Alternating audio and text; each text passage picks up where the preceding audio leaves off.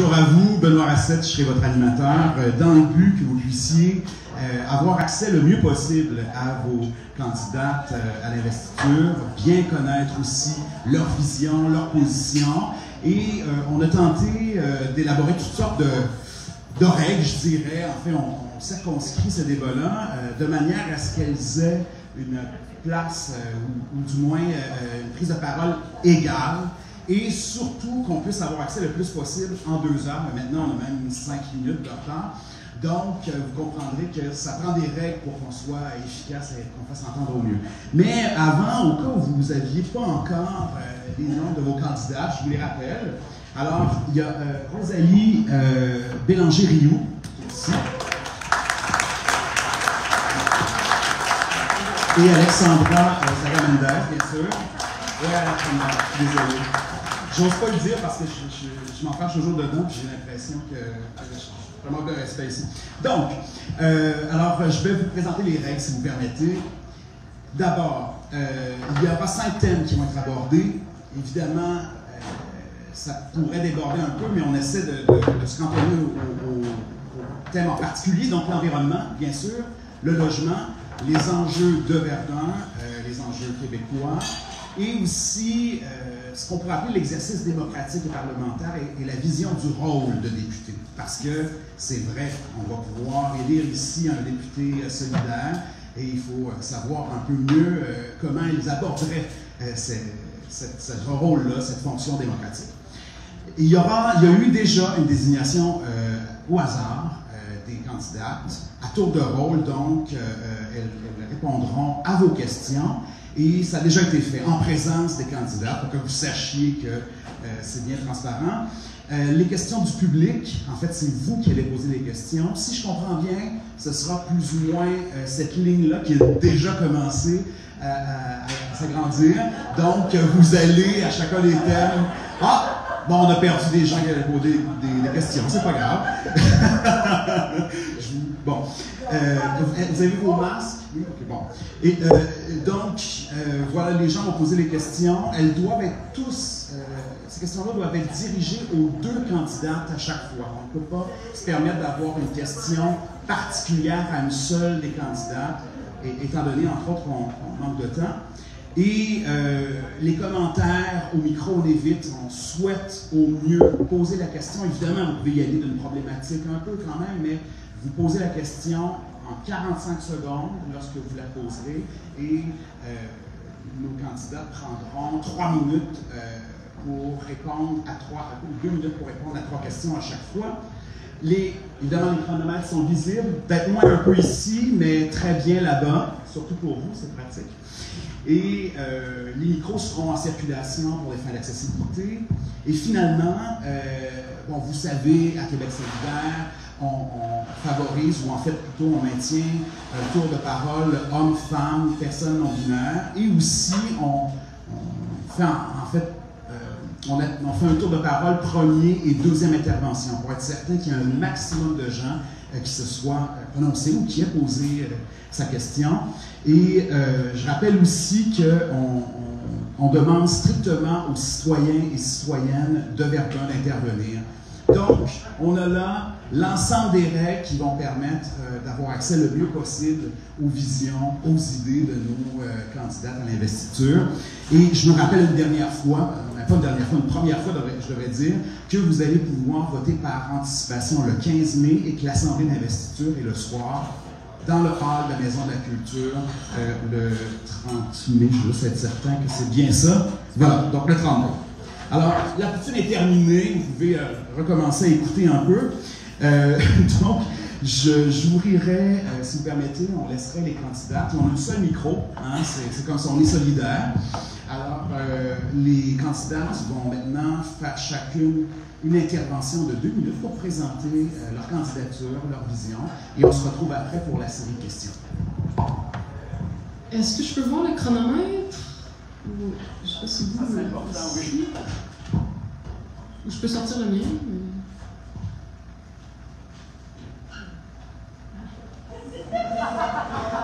C'est la page Facebook de l'association. Après collectif, ici, vous pouvez écrire des commentaires au banc si vous voulez.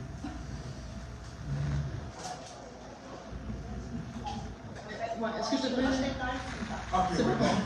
Peux-tu juste le, mettre là? Ouais, c'est. Non, non, je vais m'en occuper. euh, Ah, ouais. Rendu là. J'ai un problème. Ah, j'ai un problème. J'espère que vous n'êtes pas stressé. Ça va bien. Une seconde. Ah voilà. OK. OK. Bon. Parfait. Alors, bonjour tout le monde. Je m'appelle Rosalie Bélangériou et j'enseigne les mathématiques appliquées à l'Université euh, de McGill. Et j'ai enseigné avant ça 5 ans à l'Université de Harvard aux États-Unis. J'ai aussi développé des ateliers sur les microagressions, euh, les, euh, les biais et les microagressions et les préjugés en maths et en sciences, en fait. Parce que ce sont des domaines qui sont très inaccessibles encore aujourd'hui aux femmes, aux diversités de genre, aux classes populaires, etc. Je suis membre de Québec solidaire, donc depuis mon retour des États-Unis il y a trois ans, et je suis aussi militante dans la campagne Nos quartiers ne sont pas à vendre d'attribuer des milliers de, des clients à Verdun sur notre analyse socialiste de la gentrification et aussi sur comment refuser une hausse de loyer. On a lutté pour le droit au logement à de nombreuses manifestations, on a organisé des actions et euh, euh, on est allé aussi au conseil municipal de, de Verdun. Alors, je me suis présentée comme candidate indépendante aux élections municipales passées l'automne dernier. Et dans cette campagne, j'ai contribué entre autres à la mobilisation pour soutenir les locataires, soutenir les locataires de la rue Godin contre leur rénovation. Et donc maintenant, je me présente à l'investiture de Québec solidaire, solidaire aux élections provinciales. D'abord, en fait, pour défendre l'excellent programme de Québec solidaire, parce que oui, les contradictions du capitalisme poussent les gens euh, vers la ruine carrément, et on doit dépasser le capitalisme pour construire une société socialiste plus juste. Alors, comme élu, euh, ben, d'abord, je me présente aussi à l'investiture, euh, pardon, parce que je vais amener les membres de Québec solidaire à Verdun, c'est nous autres, hein, tout le monde, euh, à s'impliquer dans des actions comme je l'ai fait dans la campagne logement, parce que notre, notre base est une force, vraiment un potentiel incroyable. Et c'est plusieurs milliers en fait, de membres au Québec. Là, et puis on doit se servir de ça et pas juste aux 4 ans. Et s'en servir pourquoi? Ben, Pour organiser, soutenir les luttes dans le quartier. Euh, entre autres, les changements dont on a besoin, ben, c'est la construction de logements publics abordables et euh, pour tout le monde, la hausse immédiate du salaire de l'heure à 18 de l'heure et euh, l'indexation au coût de la vie et l'amélioration du service de transport en commun.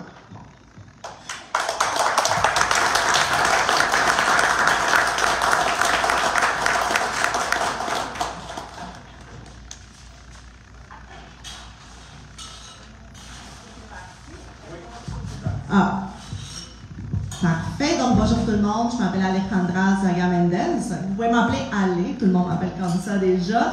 Alors, qui suis-je? En fait, euh, moi, je suis une immigrante de première génération. Je suis arrivée au Québec il y a bientôt 20 ans avec une famille monoparentale. Donc, moi, je, viens vraiment d'une classe populaire, immigrante montréalaise. J'ai pas honte de dire à quel point, j'ai connu par mon vécu autant la précarité, je sais c'est quoi attendre son chèque de bien-être social, je sais c'est quoi savoir quelles sont les études, puis qui vont permettre peut-être de nous en sortir. Mais pour moi, c'est la militance qui m'a permis d'aller plus loin. C'est la militance qui a fait en sorte que mon vécu est devenu des luttes collectives. Puis ces luttes collectives-là, je les ai trouvées au sein du mouvement antiraciste, au sein du mouvement écologiste et finalement à Québec solidaire. J'ai joint Québec solidaire quand j'avais juste 20 ans, puis depuis, j'ai contribué avec plusieurs d'entre vous à bâtir notre programme, à bâtir différentes campagnes. Et c'est comme ça, en étant militante de terrain, que je me suis rendue à la présidence du parti, puis c'est le poste que j'occupe depuis bientôt un an. Parallèlement, comme je disais, euh, moi je suis quelqu'un de super curieuse, puis les questions d'environnement me tiennent beaucoup à cœur. Et l'année passée, j'ai complété un doctorat en économie écologique, avec l'objectif justement de mélanger cette connaissance avec la lutte militante et surtout dans une perspective de transformation sociale. Ce que moi je trouve à Québec solidaire, et c'est là que j'ai donné toutes mes énergies depuis bientôt 15 ans. Puis là, on, se trouve aujourd'hui à Verdun, parce que j'ai le goût d'amener tout cette bagage, tout mon vécu, toute mon expertise en environnement un peu plus loin pour se battre à l'Assemblée nationale, se battre avec conscience de ce qui vit les gens populaires, mais aussi avec des idées claires pour la transformation puis les luttes environnementales et du logement que je vais avoir la, chance de vous parler un peu plus dans les prochaines minutes.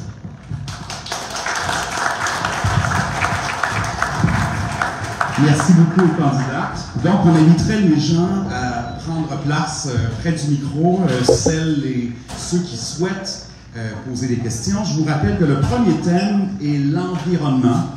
Alors, euh, j'imagine euh, que vous avez déjà quelques idées.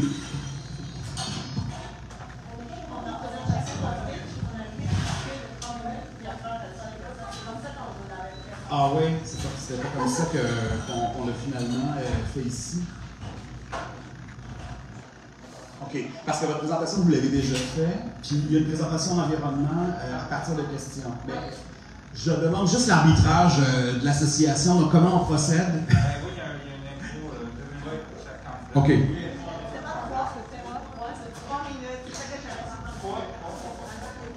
Dans le fond, on n'a pas fait de tirage à la porte. Oui, on l'a fait. On a fait tout au début.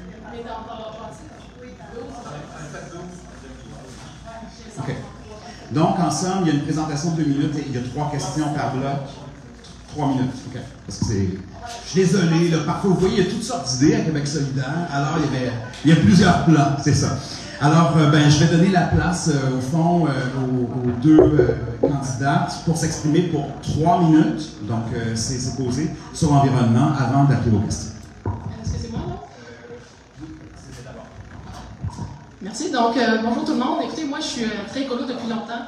Euh, en fait, je suis grande fan de compost euh, depuis que j'étais en charge du programme de compostage à mon euh, à Québec il y a bien longtemps. Mais on s'entend-tu, là, que la crise climatique en ce moment, c'est pas la faute des gens ici dans la salle en ce moment qui compostent pas. C'est pas mal plus la faute des grosses compagnies pétrolières qui nous mentent sur l'effet qu'elles ont sur l'environnement, l'effet nocif qu'elles ont, qui font des profits indus, qui contrôlent notre gouvernement. Hein, on pense à Trudeau, moi j'en reviens toujours pas qu'il a acheté un pipeline. Euh, puis qui vont pas nous laisser électrifier les transports ou euh, euh, arrêter notre, consommation de plastique. Hein. Puis parlons-en de recyclage, en fait, les compagnies de recyclage, entre guillemets. Je sais pas qui ici a vu le, documentaire d'enquête à ce sujet, mais dans le fond, ils, prennent nos, nos rebuts, ils les amènent, on sait pas trop où, très loin, pour plus pour les brûler dans fond plutôt que les recycler. Hein. C'est aussi la faute des grosses industries polluantes, des industries lourdes, l'armement, qui s'en vont faire la guerre en ce moment dans- beaucoup trop d'endroits dans le monde. C'est aussi la faute de l'industrie de la construction, euh, qui construit des logements mal conçus pour nos hivers et de plus en plus pour nos étés, hein, qui sont très chauds, et aussi qui utilise énormément de béton, ce qui n'est pas bon pour l'environnement, pour construire, euh, je sais pas, des tours à condo de luxe peut-être? Est-ce qu'on a besoin de plus de tours à condo de luxe à Verdun? Non! merci. Et dernière chose, dites-moi, il y a combien de Dollarama à Verdun? Il y a- je pense qu'il y en a quatre, hein? un sur l'île des Sœurs, puis trois sur la terre ferme. Mais c'est sûr qu'on va pas aller blâmer les gens qui sont forcés, dans le fond, qui doivent aller s'acheter leur nourriture au Dollarama à cause de leur faible salaire. On va pas les blâmer de ne pas manger bio ou végétarien, quand même. hein. Donc, concrètement, on va faire quoi? Ben, on doit reprendre le contrôle des industries que je viens de nommer pour opérer nous-mêmes la transition écologique pour qu'elle soit juste. On doit s'assurer que les transports en commun ne sont pas privatisés ou semi-privatisés, comme c'était le cas jusqu'à très récemment, en fait, avec le REM. Et on doit s'assurer d'avoir un contrôle démocratique par la base de ces industries-là pour pas que les dirigeants se donnent des bonus de 1 million de dollars à chaque année, comme encore une fois on vient d'apprendre récemment, mais on l'apprend chaque année. Euh, ces industries-là sont tellement stratégiques pour notre survie individuelle et collective et tellement dévastatrices pour l'environnement que c'est notre devoir de nous-mêmes les diriger. C'est vrai a là-dedans certains champs de compétences fédérales, vous allez me dire, excellente raison de faire l'indépendance du Québec. Et pour arriver à ça, on doit mobiliser les gens, entre autres dans des grèves et des vrais. Qui était là le 27 septembre 2019 à la grève du climat monstre à Montréal?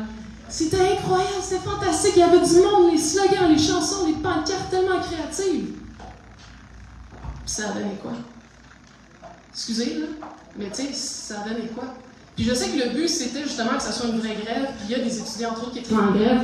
Mais les employeurs ont vu ça venir, puis ils nous ont donné congé, tu sais. Fait que ce que ça va prendre, c'est des vraies grèves, bloquer les points névralgiques de l'économie s'il faut, les ponts, les ports s'il faut, pour vraiment faire pression.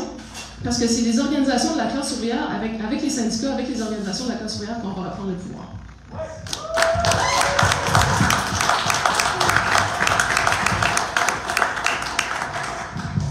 Bon, parler d'environnement, pour moi, c'est quelque chose que j'ai fait souvent, euh, autant au niveau de mon enseignement que de euh, mon implication. Mais aujourd'hui, je voulais vous parler un peu de comment, quelle est la vision écologique qu'on peut avoir quand on habite ici dans des places comme. Parce que qu'est-ce qui arrive aujourd'hui, puis on a eu le dernier rapport du GIEC qui nous dit qu'un des gestes le plus écologique qu'on peut faire aujourd'hui, c'est lutter pour le droit à la vie. C'est-à-dire qu'on on est en train de lutter contre la hausse des loyers, qu'on est en train de lutter contre genre, le fait que des familles qui n'ont plus des sous vont partir de plus en plus loin, qui vont s'éloigner des centres urbains, qui eux, ils ont accès à des services sociaux, des centres dans lesquels on a accès au transport en commun. Quand on mène cette lutte-là, on amène la lutte du logement ici à Verdun aujourd'hui, on mène une lutte écologique. Et moi, c'est cette vision-là que j'ai le goût d'amener quand on parle d'environnement. L'environnement, c'est au-delà, comme Rosalie l'a très bien dit, des gestes individuels. L'environnement, c'est la lutte contre les inégalités sociales. Et quand on est en train de plus en plus de pousser les gens à partir, on est en train de créer encore des dépendances du béton, des dépendances au pétrole. On sait très bien que l'urgence climatique est là. Puis quand on va élire quelqu'un pour se rendre à l'Assemblée nationale, il faut quelqu'un qui ait cette vision de justice climatique, de justice environnementale, qui mélange les deux.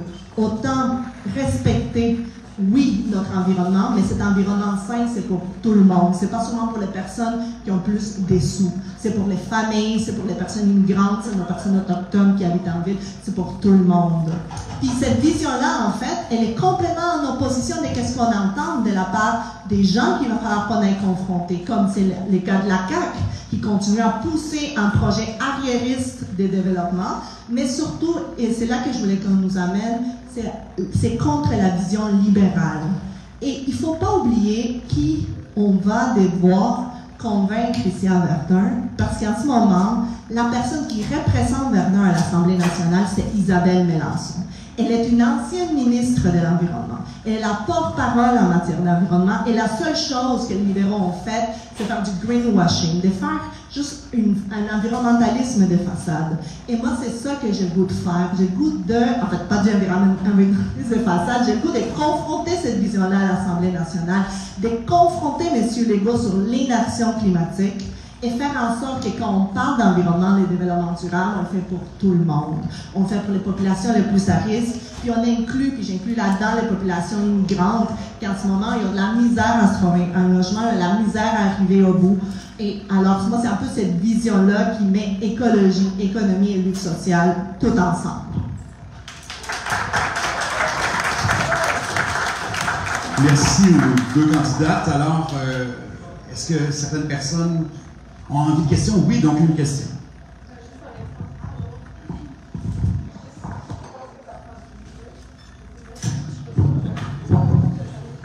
Allô? Allô, moi je m'appelle Camille, j'habite dans Verdun. Euh, donc ma question c'est euh, par rapport à l'environnement. Euh, pour ma part, qui habite dans Verdun et qui aime beaucoup fréquenter les boutiques avec les jeunes propriétaires qui ont des projets écologiques comme le zéro déchet et tout ça, je trouve ça un petit peu simple, simple, simpliste de de d'accuser les grandes pétrolières, tout ça, on a, on a, beaucoup déjà entendu parler. Puis le fait de, de, se faire encourager individuellement comme citoyen, ben, ça permet en, en fait de, de, se désinvestir de ces si grandes. Je peux permettre votre question. Ok. Euh, excusez. Est-ce que, est que vous avez quelque chose qui encourage un peu les, les jeunes entreprises puis les nouveaux commerces à favoriser des pratiques environnementales? Euh, voilà, excusez. Non. non, très bien, très bien. Très fort euh, pour, pour, tout le monde, il faut juste avoir le temps de oui, laisser la place à tous. Aucun problème, c'était très bien fait. Donc, en gros, euh, qu'est-ce que vous proposez pour que les entreprises aussi euh, fassent un geste dans le de l'environnement? Autre question, on en appellerait deux autres en fait, puis vous allez répondre euh, trois proposés. On vous écoute. Oui, donc merci. Donc, je prends la parole rapidement. Donc, je voulais juste avoir vos a priori et vos, euh, euh, votre jugement par rapport à tout ce qui est euh, taxe sur le carbone, marché sur le carbone, donc, donc de moyens. c'est quoi vos, vos, moyens préférés, je dirais, afin de réduire les émissions de là, au Québec, notamment à travers les, moyens qu'on connaît, là, comme justement marché sur le carbone, taxe sur le carbone, et autres moyens si vous en avez. donc, juste de, de, discuter un peu de ça, puis qu'est-ce que, qu'est-ce que vous préférez là-dedans et pourquoi vous les préférez. Merci beaucoup. On a fait une dernière question. Merci à vous deux pour euh, vos présentations.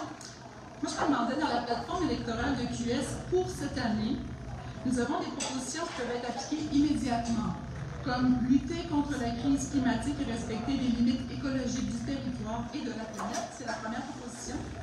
Quels engagements parmi les sept engagements mettriez-vous de l'avant le plus tôt possible et pourquoi? Alors, euh, le tirage au sort a, a désigné d'abord Alejandra. Euh, je rappelle rapidement, vous avez pris note des questions. D'abord, ce que les entreprises peuvent faire, euh, quels sont vos moyens préférés pour réduire les GES. Et finalement, euh, euh, c'est quoi qu'on fait maintenant, comme le dit notre programme? Alors, Merci beaucoup.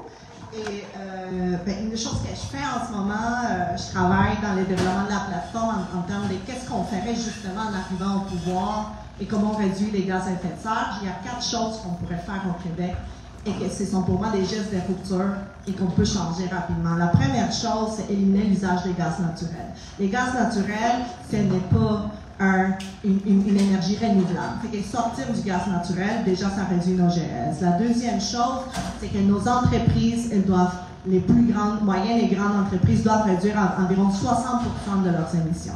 Et comment y arriver? Parce que là, j'essaie de mélanger les, questions. Comment y arriver? On a une panoplie des, des, outils qu'on appelle éco-fiscaux, c'est-à-dire qu'on va aller, oui, taxer, aller imposer les grands pollueurs, mais des côtés des petites entreprises, puis je, je, je réponds à la première question, c'est sûr qu'on a besoin de des petites entreprises, des PME qui vont innover, qui vont avoir une, on a besoin d'autres façons de produire de consommer. Alors là, on a de l'appui, l'appui pour des créations, soit des PME ou des coopératives, c'est-à-dire ça c'est aussi un, un éco-fiscalité financer ces types d'entreprises. Puis quand je disais, tu sais, quand on, veut qu'il y ait ce type d'entreprise proche des gens, que ce soit accessible aux gens. C'est pour ça qu'on lutte en même temps sur des trucs de euh, contre les développements qui va encourager la voiture solo, ce qui arrive au mon troisième point.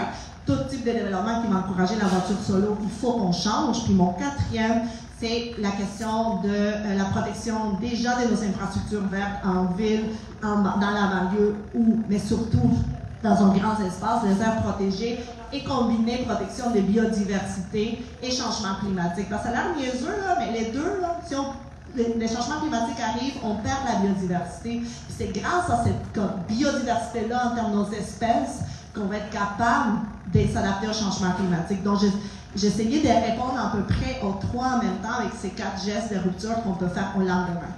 Qu'on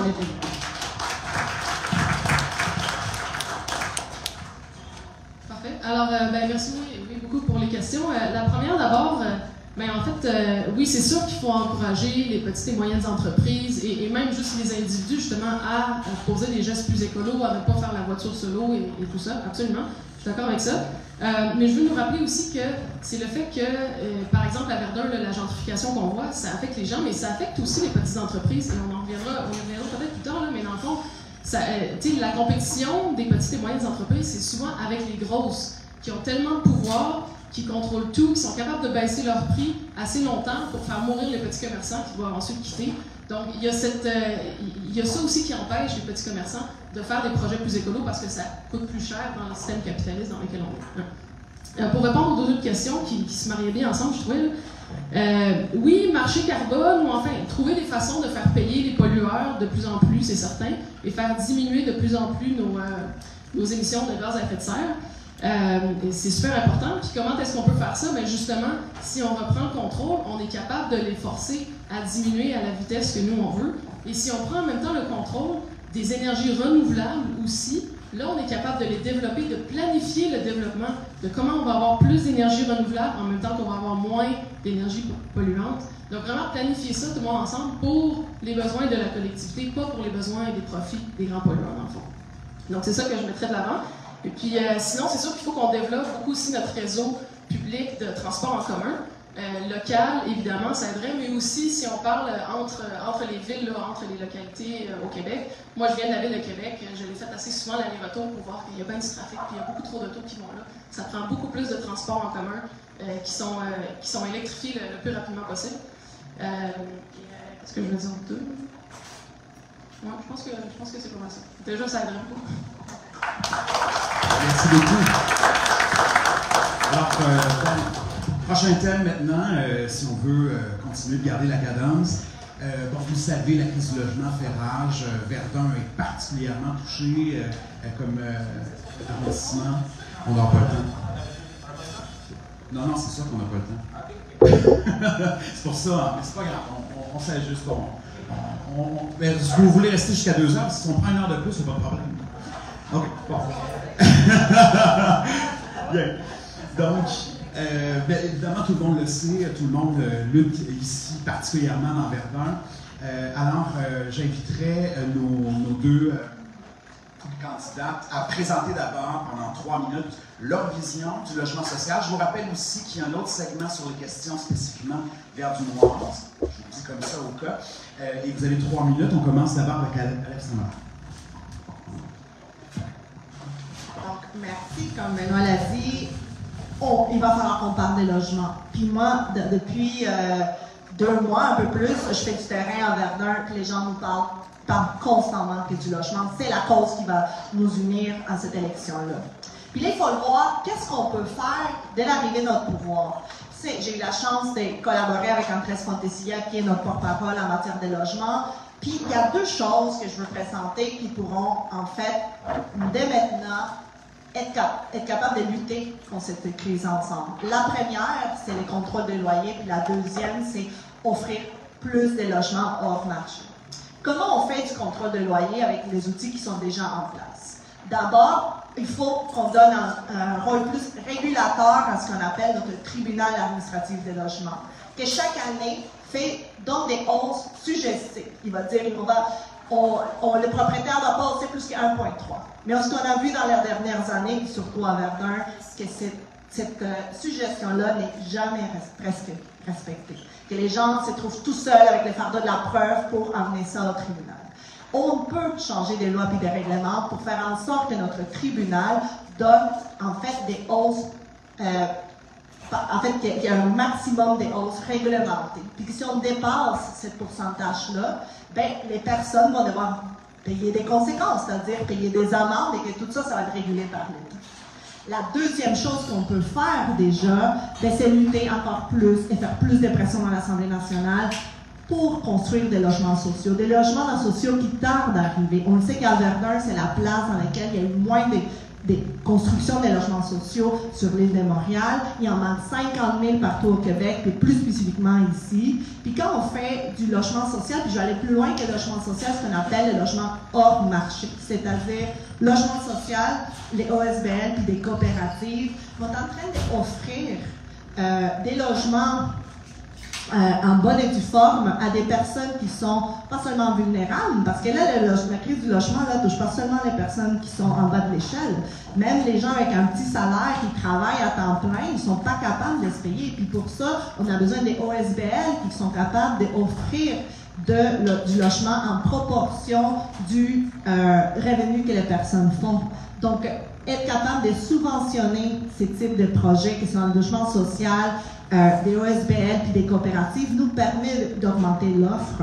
Puis je dirais aussi revoir, en fait, revoir le rôle d'Accès Logis, qui a changé son rôle tout récemment, qui fait en sorte que finance de plus en plus de projets abordables dans le privé, mais il n'est pas axé sur le logement social ou il n'est pas axé en ce moment de, de moins en moins, en fait, pour financer ces droits-là. Donc, contrôle des loyers et augmentation du logement hors marché.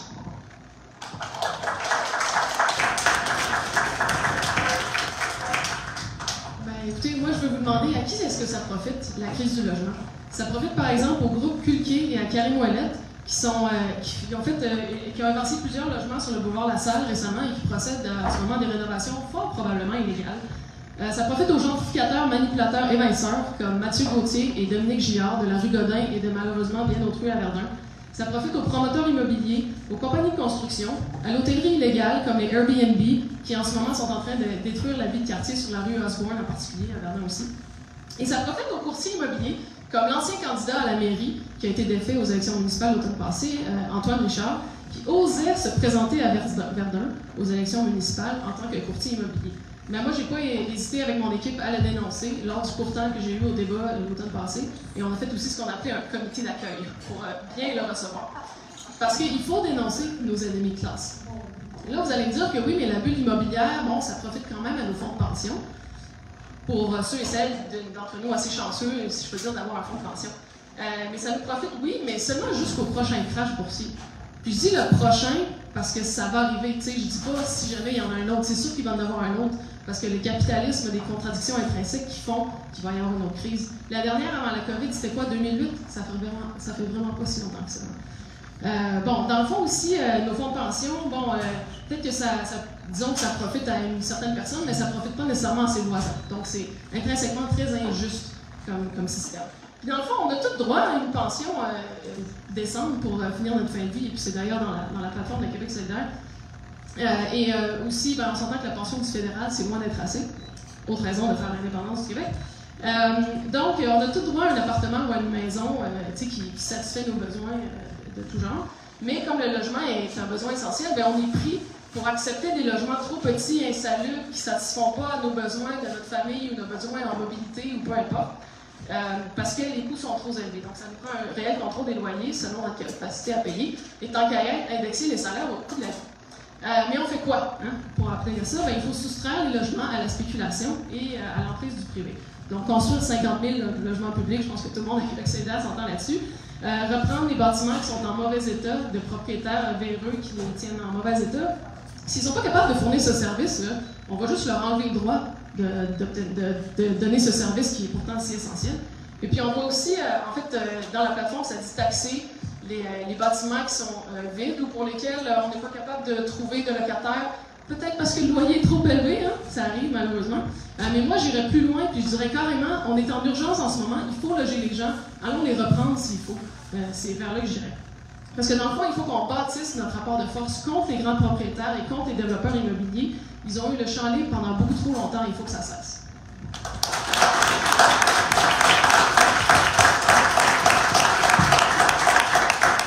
Merci beaucoup. Alors, euh, on est prêts, les gens, euh, à poser des questions sur le logement. Euh, donc, on serait prêt à en prendre quelques-unes. Puis là, je, je vais faire un meilleur coup de pas. Peut-être que je vous ai stressé un peu tantôt alors que j'ai coupé, j'ai coupé la personne assez promptement. Je suis désolé, je sens qu'on a plus de place que, que je pensais, mais je, on va vous accueillir dans toute euh, votre 45 secondes. Donc, il y a des gens.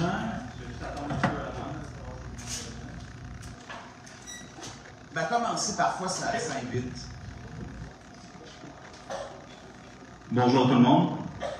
Oh, je fais trop proche. Bon. Faudrait-il mettre en œuvre une réforme politique en profondeur, provinciale ou municipale, afin de résoudre les problèmes de logement et de propriété? Développez votre réponse autour d'une politique, d'un fondement idéologique ou autre chose qui ressemble à ça, euh, comme composant clé de votre argumentation, s'il vous plaît. Merci. Bonne question, M. le Président. Donc, euh, oui, euh, on vous écoute. Euh, oui, euh, ma prochaine question, c'est plus sur la salubrité du logement. Moi, par exemple, dans mon logement, j'ai une compagnie de gestion qui euh, gère mon logement pour une autre compagnie de gestion. C'est très agréable. Et y avait un trou dans mon plafond pendant trois mois de temps. J'ai dû faire une plainte à la Ville de Montréal pour que ce soit réparé. Quels sont les outils que vous pourriez mettre en place par rapport à la sécurité des logements? On sait qu'il y a des problèmes de punaises de lit qui reviennent chaque année sur l'ensemble de l'île. Donc, voilà.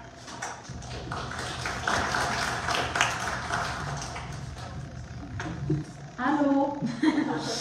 euh, ma question c'est est-ce que vous avez une façon d'encourager les jeunes propriétaires et puis les familles qui veulent aussi euh, devenir propriétaires euh, pour les décourager, dans le fond, d'adopter les mêmes pratiques que nos adversaires, ceux qui évincent?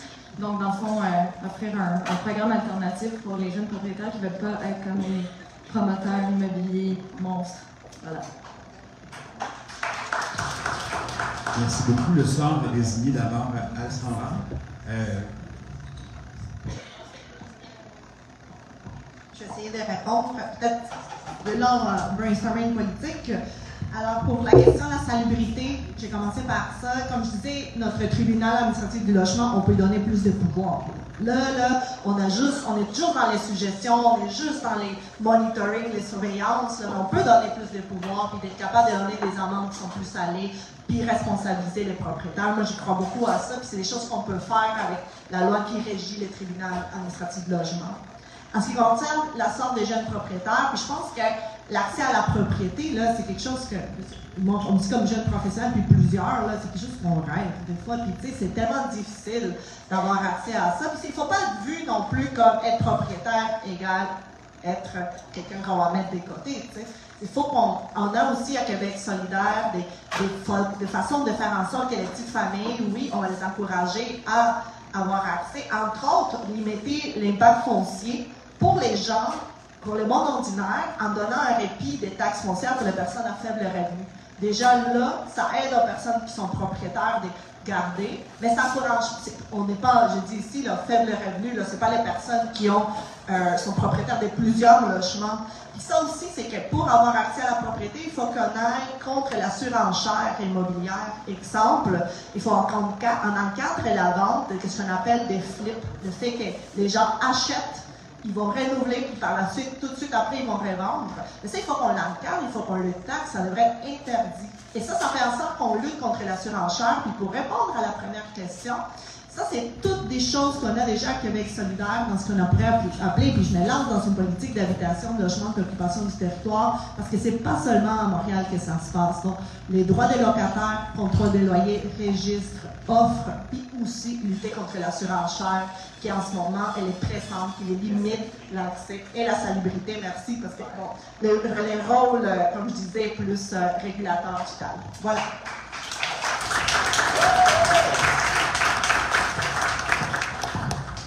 Parfait. Ben, écoutez, euh, moi, ce que j'ajouterais à ça, c'est que pour, pour, ce qui est d'une réforme en profondeur là, euh, pour le logement, ben, j'aimerais vous parler de Vienne, en fait, d'abord. Euh, Vienne, qui est en Autriche, qui est une ville où est-ce que 60 environ du marché locatif est privé. excusez, public, public plutôt que privé, c'est quand même gigantesque.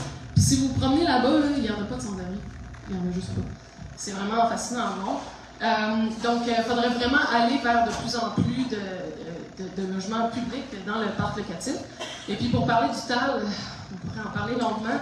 Euh, dans le fond, en ce moment, les attentes, quand les propriétaires amènent des plaintes, c'est quelques mois à peine, si je crois bien, alors que le temps d'attente, si les locataires amènent une plainte, ça peut aller jusqu'à trois ans, trois.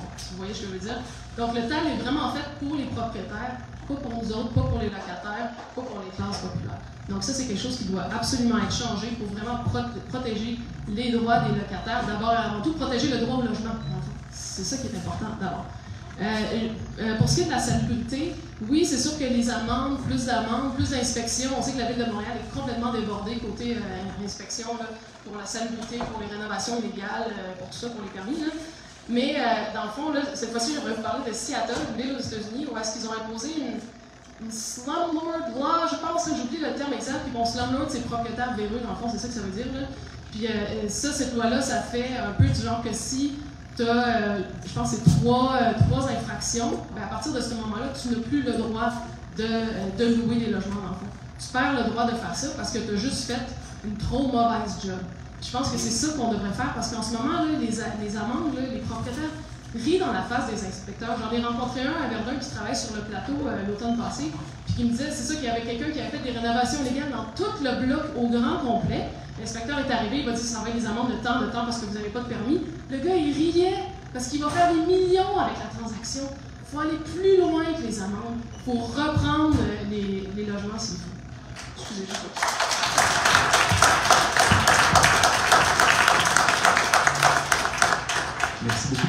Alors, euh, je vais seulement valider avec vous, mais euh, on a encore peut-être euh, une question, je dirais, avant d'arriver au second segment. Je dis ça parce qu'il y avait une volonté. Alors, peut-être qu'on va prendre une question et avec une réponse brève, je sais que je vous change d'affaire, mais il y avait une volonté plus de questions, je vous en donne. Bon, madame. Euh, oh mon Dieu, je me pense. Le micro est vraiment puissant. Alors, euh, j'ai. Euh, je veux savoir comment on va faire pour lutter contre euh, les édifices monstres de 40 et 42 étages à l'île des Sœurs. Ça fait des années qu'on cherche des solutions. Si vous en avez, s'il vous plaît, j'apprécierais. Alors, je vous inviterai une réponse brève euh, je sais que le minutage n'est pas prévu pour ça, mais je vous fais confiance. Réponse brève, à toutes deux. Ben, d'abord, juste pour les petits propriétaires de tantôt, c'est sûr que c'est important. Moi, je favoriserais les propriétaires occupants plutôt que justement les, propriétaires qui louent à d'autres mondes. Puis euh, taxer justement les, ra- les transactions immobilières et les transactions rapides, euh, comme tu parlais pour les flips. Mais pour ce qui est de ce qui se passe à l'île des Sœurs avec Symphonia et les énormes tours, euh, moi été très déçue. Mardi passé, le conseil municipal avait la chance de se tenir debout et de refuser de donner le permis. Ils ont fait un petit jeu de Ah, on va voter 4 pour, 3 contre pour montrer qu'on était comme un peu contre, mais ils n'ont pas osé voter contre. Moi, je vais oser, moi, je vais me lever. Je l'ai déjà fait justement au municipal l'automne passé, je vais continuer de le faire.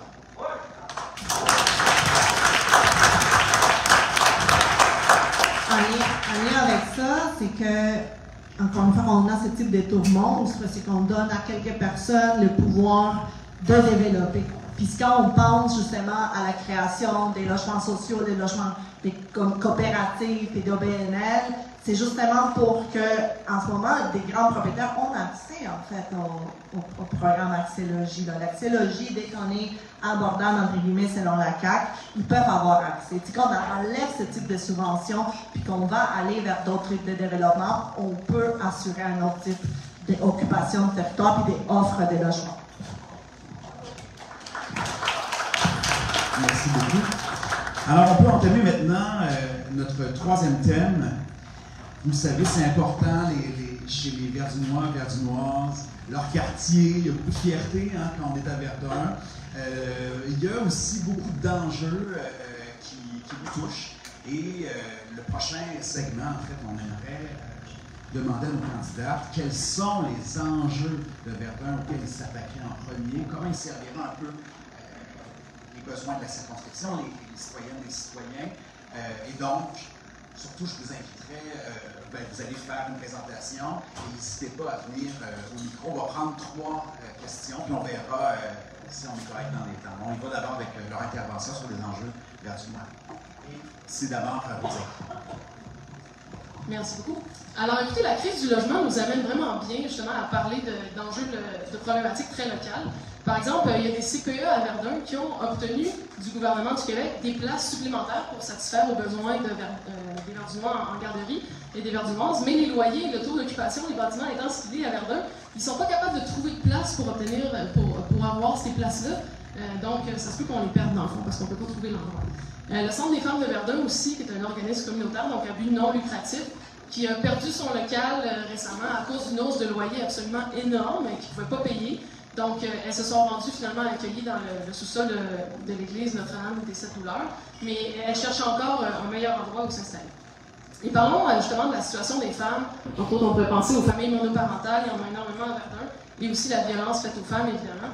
Euh, pour supporter les femmes dans, situation, dans ces situations, ben, ça prend des services, oui, et ça prend aussi euh, des loyers raisonnables et aussi des salaires décents, euh, et euh, afin que les femmes puissent quitter justement des mauvaises situations. Et ça, ça bénéficierait surtout, en fait, les Autochtones. On sait qu'il y a une énorme crise euh, du logement pour les Autochtones ici à Montréal, mais les femmes immigrantes ou vivant avec un handicap aussi, par exemple. Euh, donc, une autre bonne raison de faire ça. Mais comment faire ça euh, réellement? Comment se payer tout ça? Ben, il va falloir aller chercher euh, l'argent pour financer les services aux femmes. Et pour ça, ben, on peut aller piger dans les poches des grandes banques, les poches de Google et Amazon qui ne payent pas de taxes, et dans les paradis fiscaux aussi. Euh, donc, ça prendrait ben, un réel contrôle des loyers, on a déjà parlé, mais euh, résidentiel et commercial aussi. Parce que là, en ce moment, on est sur la Wellington, et puis on sait bien qu'à Verdun, les petits commerces, les petits commerces plus modestes, ont énormément de difficultés à concurrencer, ou peuvent plus, dans le fond, concurrencer avec les grandes chaînes, euh, les grands magasins, les magasins plus dispendieux. Et ça, ça fait aussi que les personnes les moins nantis à Verdun ont de plus en plus de difficultés à vivre dans le quartier et à payer les choses dont ils ont besoin dans ce quartier-ci. Une chance qu'on a encore nos cartes de l'Orama. Euh, et ça, ça nous rappelle que les vrais ennemis des commerçants et des petites et moyennes entreprises, des PME, ce sont les grosses chaînes et les internationales, euh, les, euh, les multinationales et le capitalisme. Donc, on sait qu'à Verdun aussi, il y a plus de précarité que dans bien d'autres quartiers. Et les inégalités causent du désespoir et des difficultés à l'école et à la maison. Ça, c'est sûr, on s'en rend compte. Donc, on doit combattre ça avec des bonnes opportunités, des jobs syndiqués, avec des salaires minimum 18 de l'heure, indexés au coût de la vie, qui ne cessent d'augmenter, n'est-ce pas? Euh, on doit aussi combattre le désespoir par plus de support en santé mentale, c'est super important, et des ressources dans les écoles. Bon, on pense au déjeuner gratuit, aux activités euh, parascolaires euh, enrichissantes, mais même juste des écoles, parce qu'il en manque, entre autres à Sœurs, et aussi des écoles en bon état, ça aiderait, parce qu'on sait que ça aussi c'est un problème à Verdun et partout à Montréal. Euh, euh, et d'ailleurs, je, lève mon chapeau à l'organisme Toujours Ensemble qui fait un travail incroyable pour développer le.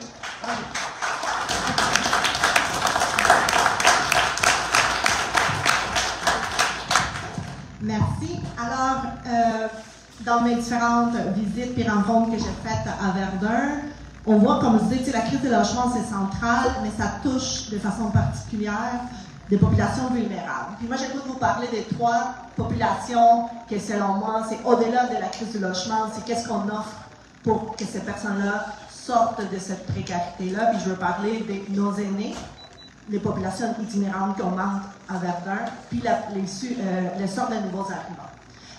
On a entendu aux nouvelles, vous avez entendu le fait que l'RPA allait fermer ses portes, l'RPA Gordon, puis qu'il va y avoir ces personnes-là vont être déplacées dans un autre RPA.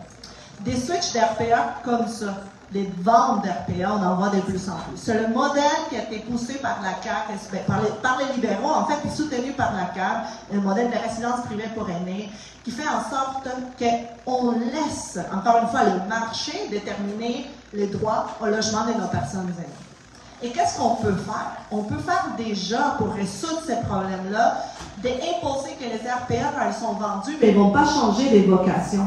Il faut faciliter la conversion aussi des RPA dans des logements coopératifs ou des, logements OSBL, comme il y en a ici à Verdun, comme c'est le cas de, euh, des bâtiments entre deux âges, par exemple, que j'ai eu la chance de visiter. Mais aussi défendre les droits de nos, locataires aînés. Moi, j'ai croisé du monde qui disait que c'est grâce au travail de Françoise David que cette personne-là n'a pas perdu son logement ici à Verdun. Puis c'est des gestes même très concrets qu'on peut faire à l'Assemblée nationale. Puis on voit de plus en plus d'itinérance à Verdun, c'est vrai, parce que c'est un symptôme de la crise du logement.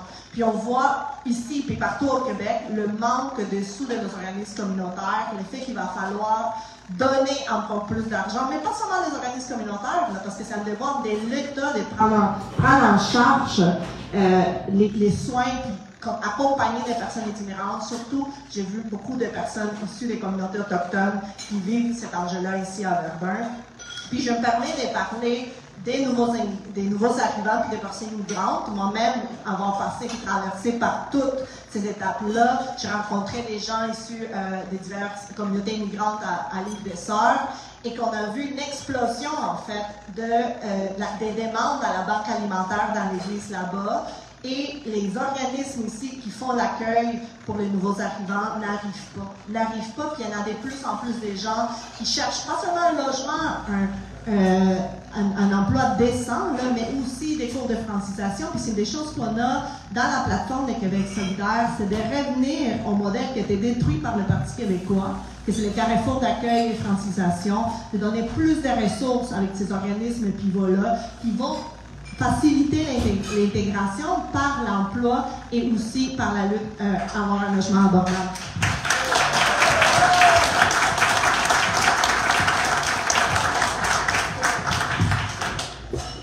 Alors, euh, on appelle les questions, peut-être priorité euh, aux citoyens de Verdun, mais quand il n'y a pas de gens qui prennent place, il n'y a pas de problème. Oui,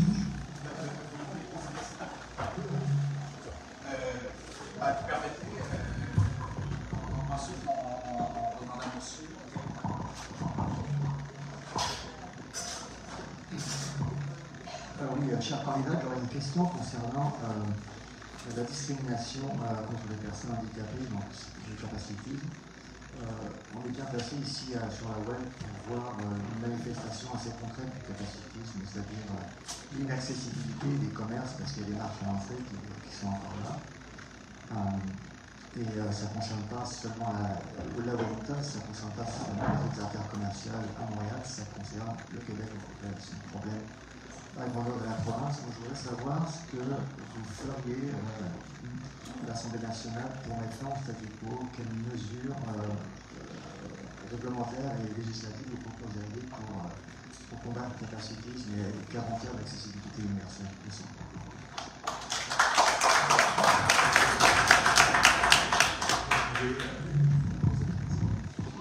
les candidates, c'est le comprendre que ce sont deux femmes. Euh, ben, en fait, moi, je, je me demande en fait c'est quoi euh, votre implication à Verdun, si ça a été quoi vos luttes. Puis si vous êtes élu, ça serait avec quel organisme communautaire que vous aimeriez travailler en priorité, puis pourquoi? Merci.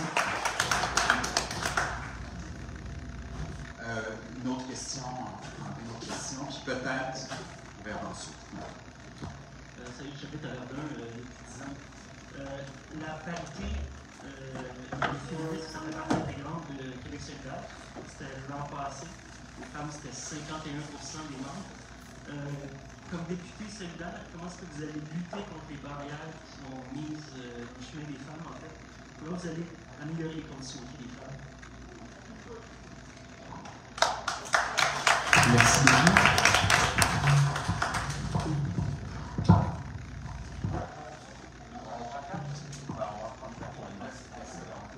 Peux-tu y aller?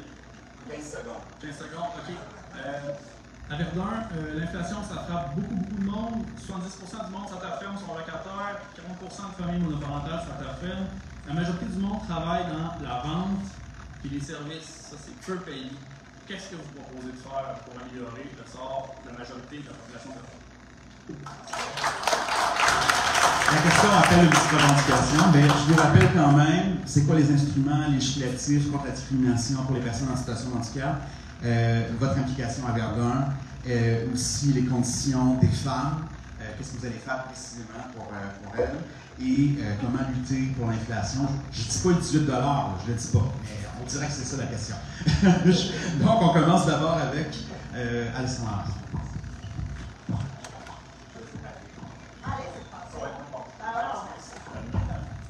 Alors, je vais essayer de répondre en rafale. Donc, pour les questions de euh, la lutte au capacitisme, Québec solidaire, c'est le seul parti qu'on a dans notre plateforme, la loi sur l'accessibilité universelle. Ça, c'est un geste, ça a l'air de rien, là, mais en Ontario, on a déjà ça. Puis qu'on peut mettre de l'avant au Québec pour faire en sorte que l'ensemble de notre développement immobilier, donc ce qui amènerait justement une réforme du code euh, du bâtiment, pour permettre justement de rendre de plus en ah, pas, pas des plus en plus accessibles, mais l'accessibilité universelle fait en sorte que tout ce qu'on planifie doit être accessible un peu partout. Donc, je pense que comme ça, ça c'est un acte législatif qu'on peut faire en arrivant à l'Assemblée nationale. En ce qui concerne l'implication de Verdun, personnellement, c'est vrai que moi, je suis quelqu'un qui arrive récemment à Verdun, mais je me suis impliquée toute ma vie dans les luttes sociales à Montréal. Je viens de ces luttes populaires-là, puis je connecte en fait avec toutes les, choses que j'entends, que ce soit en termes de logement, en termes de précarité, puis en termes d'organismes communautaires, comme en termes de priorisation, là, je pense que il aller comme au-delà de juste prioriser certains organismes. C'est l'ensemble de nos organismes communautaires qui ont besoin d'aide, qui ont besoin d'être financés à la mission, puis pas par projet, qui ont besoin d'avoir plus de support. Et déjà, on peut faire de la pression pour ça. En ce qui concerne la, lutte pour les femmes, au-delà de la parité et les obstacles qu'on vit euh, dans la représentation politique, puis bon, je réponds également à la quatrième, c'est sûr qu'on veut, on va mettre de l'avant pendant cette campagne la lutte pour un salaire digne qui va commencer à 18 pièces de l'heure, parce que ce sont les femmes les plus touchées par cette problématique-là quand on travaille à salaire minimum. Moi, j'ai aussi, là, ma mère m'a élevée avec un salaire minimum toute seule. Être monoparentale avec un salaire minimum, là, c'est rochant. Et ça, là, on hausse un peu le salaire minimum, mais il faut lutter pour les conditions de travail de tout le monde pour être capable de, de respirer. C'est ça qu'il faut offrir à nos familles et c'est comme ça qu'on lutte également à l'inflation.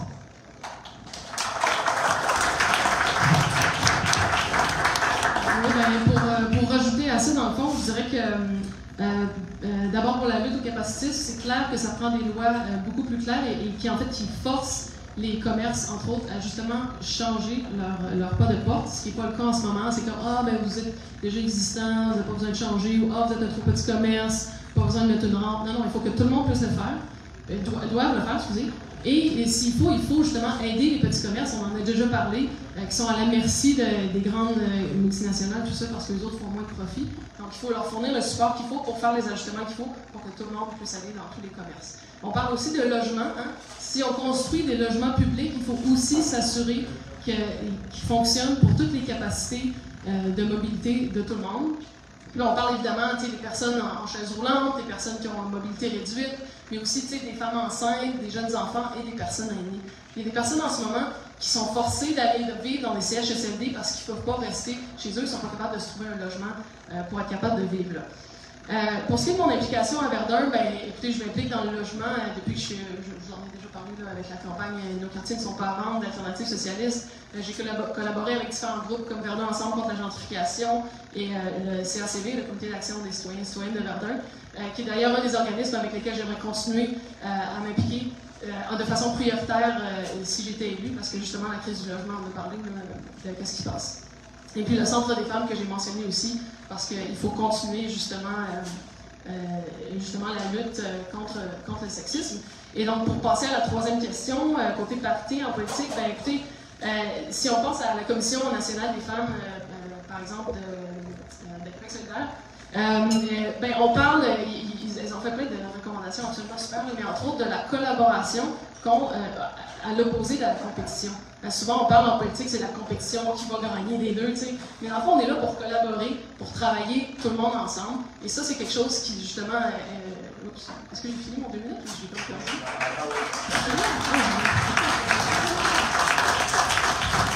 L'appel à la collaboration, effectivement, ça nous a fait perdre le sens du temps. Désolé. Écoutez, il nous resterait, on, on pourrait avoir encore cinq minutes. Alors, si on était dans une assemblée syndicale, je vous demanderais qu'est-ce qu'on fait. Est-ce que vous voulez qu'on passe tout de suite au prochain, au, prochain segment où on accueille encore euh, des questions sur euh, Verdun? Est-ce a des questions d'abord sur Verdun? Alors peut-être qu'on pourrait prendre euh, une ou deux questions avec une réponse rapide. Est-ce que ça vous convient? Donc allez-y, on vous écoute. OK. Ma question est euh, comment vous favoriseriez la promotion des organismes communautaires? Parce, ben, parce que personnellement, avant d'en avoir besoin, je ne les connaissais pas. Puis euh, pour permettre à ceux aussi qui ont du temps, qui sont à la retraite, qui ont plus de moyens, plus de, santé, de s'impliquer. Donc, comment faire en sorte que Verdun soit encore plus un lieu communautaire et qu'on connaisse mieux tous les merveilleux organismes?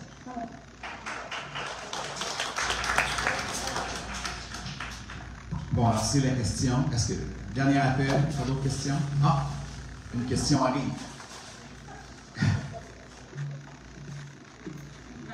C'est une question un peu euh, interrogation, mais c'est sûr que euh, il y a Douglas tu sais, qui, fait partie. Donc il y a souvent quand même des, problèmes de santé mentale. On voit souvent aussi des gens qui, qui tout ça. Moi, c'est quelque chose qui me tient à cœur quand même, la santé mentale. Avant, il y avait le centre Wellington où il accueillait des gens, il faisait de l'art. Pendant la pandémie, ça a fermé. Fait que c'est. Je sais pas si c'est une question, en tout cas, moi, c'est sûr que j'aimerais ça. En tout cas, je comprends pas pourquoi ça a fermé. C'est une de mes préoccupations qu'on s'occupe de ces gens-là, puis que ça réouvre. Peut-être pas une question, en tout cas. Mais il y a une question derrière, tout à fait. Les questions de santé mentale, ça vous préoccupe. Dans Verdun, qu'est-ce qu'on fait? Euh, notamment parce que le seul centre, euh, qui n'est pas très loin, a dû fermer pendant la pandémie? Bref, il y a ressources en santé mentale. Euh, et puis la question d'avant, c'était les liens avec. Qui ont parlé de C'est quoi. C'est. Oui, voilà, sur les organismes. Alors, euh, on pourrait laisser euh, euh, deux minutes à, chacune. Et si vous permettez, le dernier, c'est le seul pour lequel il n'y a pas eu un choix au hasard. Donc, le dernier, c'était Ali et Rosalie. Alors, on ferait l'inverse. Ça vous convient? Alors, Rosalie. Oui, merci. Euh, ben, en fait, juste pour euh, revenir aux femmes, euh, juste rapidement, je voulais vous dire que pendant la Deuxième Guerre mondiale aux États-Unis, pendant que les hommes étaient partis sur le front, il fallait engager les femmes pour faire ce qu'il fallait se faire, mais les femmes ne voulaient pas aller au travail parce qu'elles avaient déjà à s'occuper des enfants, la maison, le lavage, la lessive et tout ça. Donc, pour les inciter à aller au travail, il y avait des services de lavage de vêtements qui étaient offerts aux employés. Ça, là, ça devrait être offert tout le temps. Tous les services qui peuvent aider les femmes à se décharger des tâches ménagères qui sont typiquement attribuées à elles alors que ça ne devrait pas, il faudrait qu'on pousse ça le plus possible pour les aider à s'impliquer plus dans leur, euh, dans leur communauté, ce qui d'ailleurs répond un petit peu à une des questions, et s'impliquer plus en politique et, tout ça, juste avoir une meilleure. Euh, pour ce qui est d'impliquer tous les gens le plus possible euh, dans la vie de quartier, dans les organismes communautaires, pour les informer, tout ça, ben moi, en tant que député, mon bureau de comté serait ouvert aux gens pour les aider à s'organiser dans leur lutte, pour qu'ils utilisent les bureaux pour leurs réunions, pour, euh, ça, pour, euh, pour préparer ce qu'ils ont à faire euh, pour leur lutte, pour euh, leurs problèmes dans, dans la communauté. Et puis, finalement, ben c'est ça, pour, m'impliquer en tant que... Ah oui, la santé mentale, merci. Ben, c'est ça. Au Douglas, euh, euh, dans le fond, on, on sait ce qui se passe en ce moment, puis c'est causé souvent les gens, dans le fond, doivent quitter l'hôpital Douglas euh, pour la transition. Mais ils n'ont pas de logement où aller, il n'y a pas de suivi. Donc, il faut mieux financer les services publics, euh, mieux financer, entre autres, justement, les, services de, santé mentale en allant taxer les, taxer les, très riches. Et il faut aussi, euh, justement, des loyers plus raisonnables pour que les gens puissent se trouver un logement proche du Douglas et proche des services plutôt que d'aller changer dans, dans un autre euh, quartier, etc. Et ça, justement, ça aiderait aussi beaucoup plus euh, la vie de quartier si tout le monde on était unis ensemble et qu'on était capable de, de travailler ensemble. Et puis, vous savez, moi, vu que je suis impliquée dans le quartier, j'ai déjà supporté les luttes et c'est définitivement quelque chose que je vais continuer de faire en tant que député. Je ne vais pas partir à Québec plus jamais vous revoir. Alors, on va continuer à travailler ensemble dans le quartier.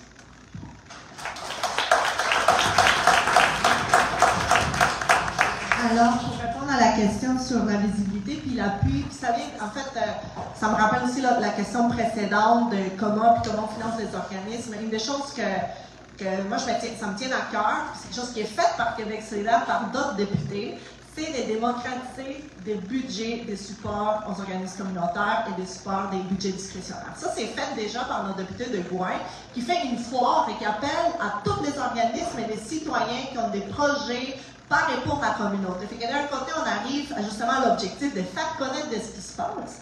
Puis deux, on rend des budgets discrétionnaires, donc l'argent qu'on a, euh, nos fonds publics comme députés, disponibles pour le développement social puis communautaire. Et ça, c'est des gestes qu'on fait déjà comme certains euh, euh, solidaires à l'Assemblée nationale que moi, j'ai le goût de faire si je deviens député d'ici.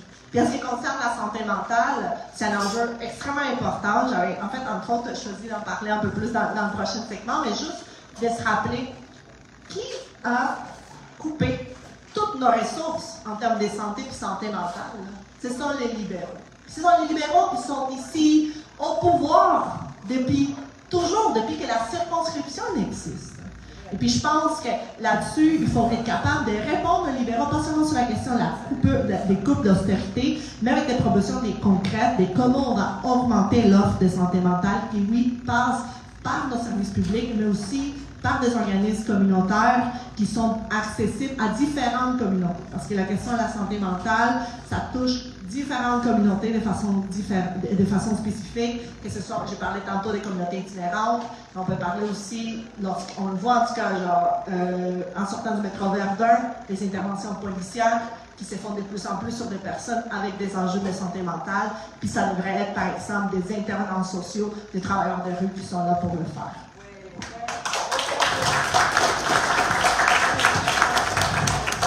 Merci beaucoup pour votre flexibilité, euh, tout le monde.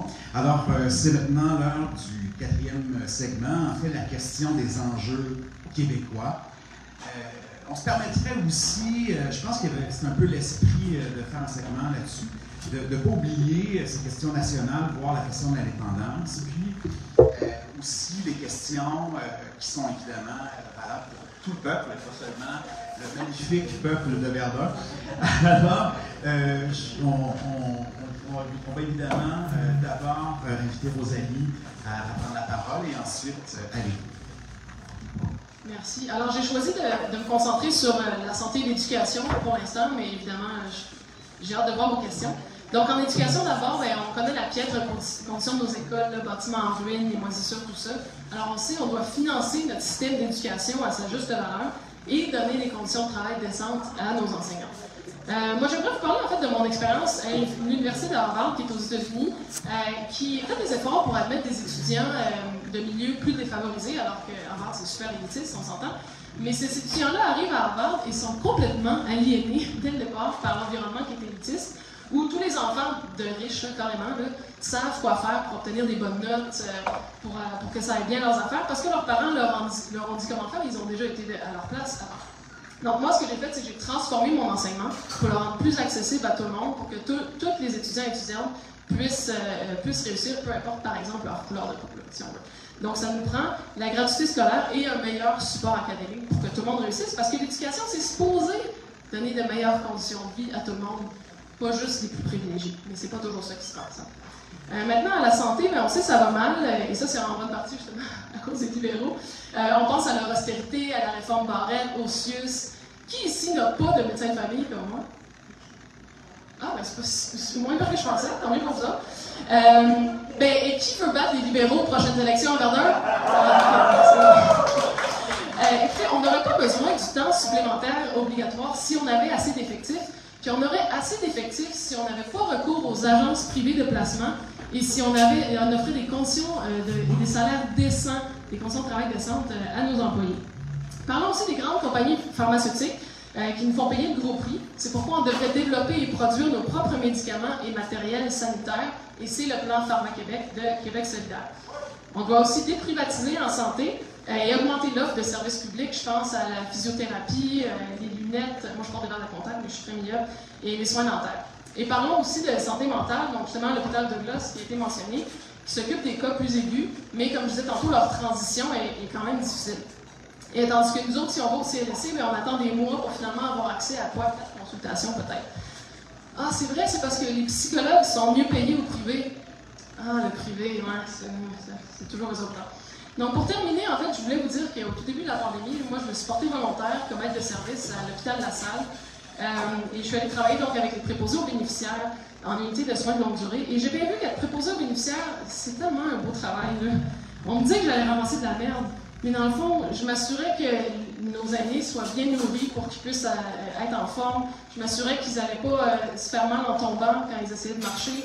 Et puis, je m'assurais même, il y avait une femme qui était prise, j'ai essayé de la réconforter, qui était prise à, cause de l'Alzheimer dans des souvenirs absolument terrifiants de sa jeunesse. Ça, c'est toutes les choses qui sont passées.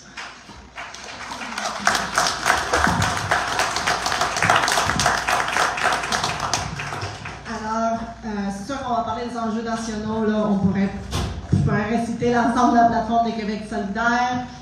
Euh, en ce moment, on met beaucoup d'emphase, je pense avec raison, dans nos campagnes pour parler de santé mentale. Puis quand on parle de santé mentale, il faut le parler d'une façon plus holistique. Là, tantôt, je parlais de l'offre oui, il faut augmenter les salaires des non-psychologues et psycho-intervenants dans, le, dans euh, le public. Il faut embaucher massivement des gens au public pour augmenter cette offre-là, puis parce qu'en ce moment, les files d'attente sont impressionnantes. Il faut voir la, santé mentale pas seulement comme euh, une intervention euh, qu'on fait à l'hôpital ou, comme je disais tantôt, le remise communautaire. Il faut axer ça sur le bien-être et la qualité de vie on a tellement de mesures à Québec solidaire pour donner un répit aux gens, pour être capable de respirer. Parce que c'est ça qui arrive en ce moment. On n'est pas capable de s'arrêter. On travaille de toujours plus en plus. Écoute, tout coûte de plus en plus cher. Puis à Québec solidaire, une des choses que moi j'ai compte mettre de l'avant, c'est quand on parle des hausses de salaire minimum, mais aussi la réduction du temps de travail. Réduction du temps de travail qui va nous permettre de s'occuper des nôtres, de s'occuper de l'environnement, de revenir au local, d'être capable de bâtir des communautés plus résilientes. C'est nos quatre semaines des vacances, des vacances que tous les travailleurs et travailleuses au Québec méritent et qu'elles ont besoin. Parce qu'il faut arrêter de penser au travail juste quelque chose qu'on y va, puis qu'on punch, puis on gagne nos sous pour vivre. Il faut qu'on pense aux gens, à leur qualité. Puis c'est ça qu'on a perdu un peu au Québec. On a perdu cette vision holistique de la santé. Cette vision holistique, on peut parler d'environnement, de prendre soin de nos travailleurs, de prendre soin de nos services publics, tout ensemble. Puis moi, euh, c'est ce que je veux ajouter quand on parle de, cette vision holistique puis le respect de notre environnement. C'est aussi lutter, puis c'est ça le projet de QS, pour un pays, un Québec, qui est, lui, pour moi, passer par ce euh, processus d'indépendance qui va nous permettre de mettre les socles pour une société plus juste. Euh, puis je vous le dis parce que des fois, quand, je parle d'indépendance, euh, les gens ne savent pas à quel point ça me tient à cœur. Parce que moi, je veux voir l'indépendance pas comme un, un projet de nationalisme blanc pour quelques-uns, mais quelque chose d'inclusif qui s'est fait par et pour les gens du Québec, les gens qui, moi, comme des familles immigrantes, mais aussi et surtout en lien et en respect euh, vis-à-vis, euh, pardon, de la relation des nations à nations avec nos peuples autochtones. Puis l'indépendance, faire ce geste-là, c'est une des choses les plus écologistes qu'on peut faire parce qu'il faut qu'on se donne le pouvoir de sauvegarder notre territoire, de le faire respecter, puis donner, faire en sorte qu'on soit capable de vivre dignement en respectant, oui, en augmentant nos services sociaux, mais en respectant l'ensemble des travailleurs et travailleuses au Québec.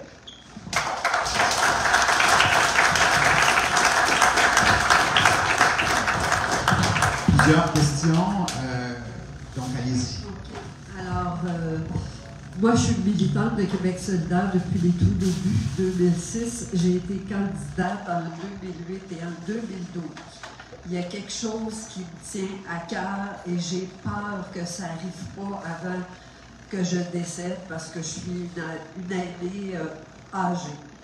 Euh, c'est la réforme du mode de scrutin. J'ai travaillé sur ce comité-là à Québec solidaire en 2007, en 2008, en 2009 avec Feu Christine Dumas. Quand est-ce qu'on va avoir la réforme du mode de scrutin? Ça presse.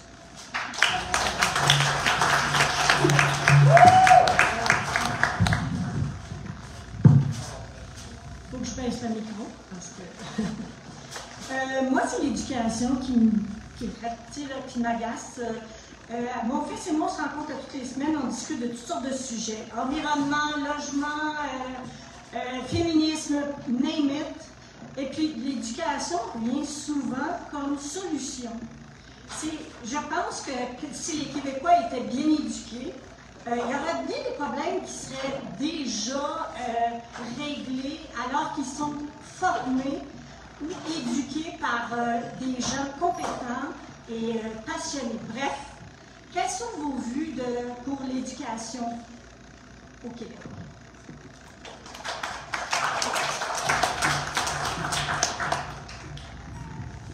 Euh, au, au Québec, moi je on dirait que souvent on n'a pas beaucoup de vision, pas de projet de société qui est très porteur. On dirait qu'on fait juste suivre euh, des recommandations d'experts qui sont dans le fond presque tout le temps payés par le privé. Ils vont. On, on permet encore toujours aux affaires qui ne marchent pas. on donne encore une chance au fédéralisme, on donne encore une chance au capitalisme. Comment vous allez nous faire transitionner d'un système à un autre? Mais le capitalisme, on ne transitionne pas du capitalisme à autre chose. On reste tout le temps dedans. Comment vous allez faire pour nous aider à faire, faire tout ce que vous voulez faire si vous allez travailler ou allez être obligé d'être travaillé, de travailler avec le capital euh, assis à la table des négociations? C'est- Ça marche pas. Merci.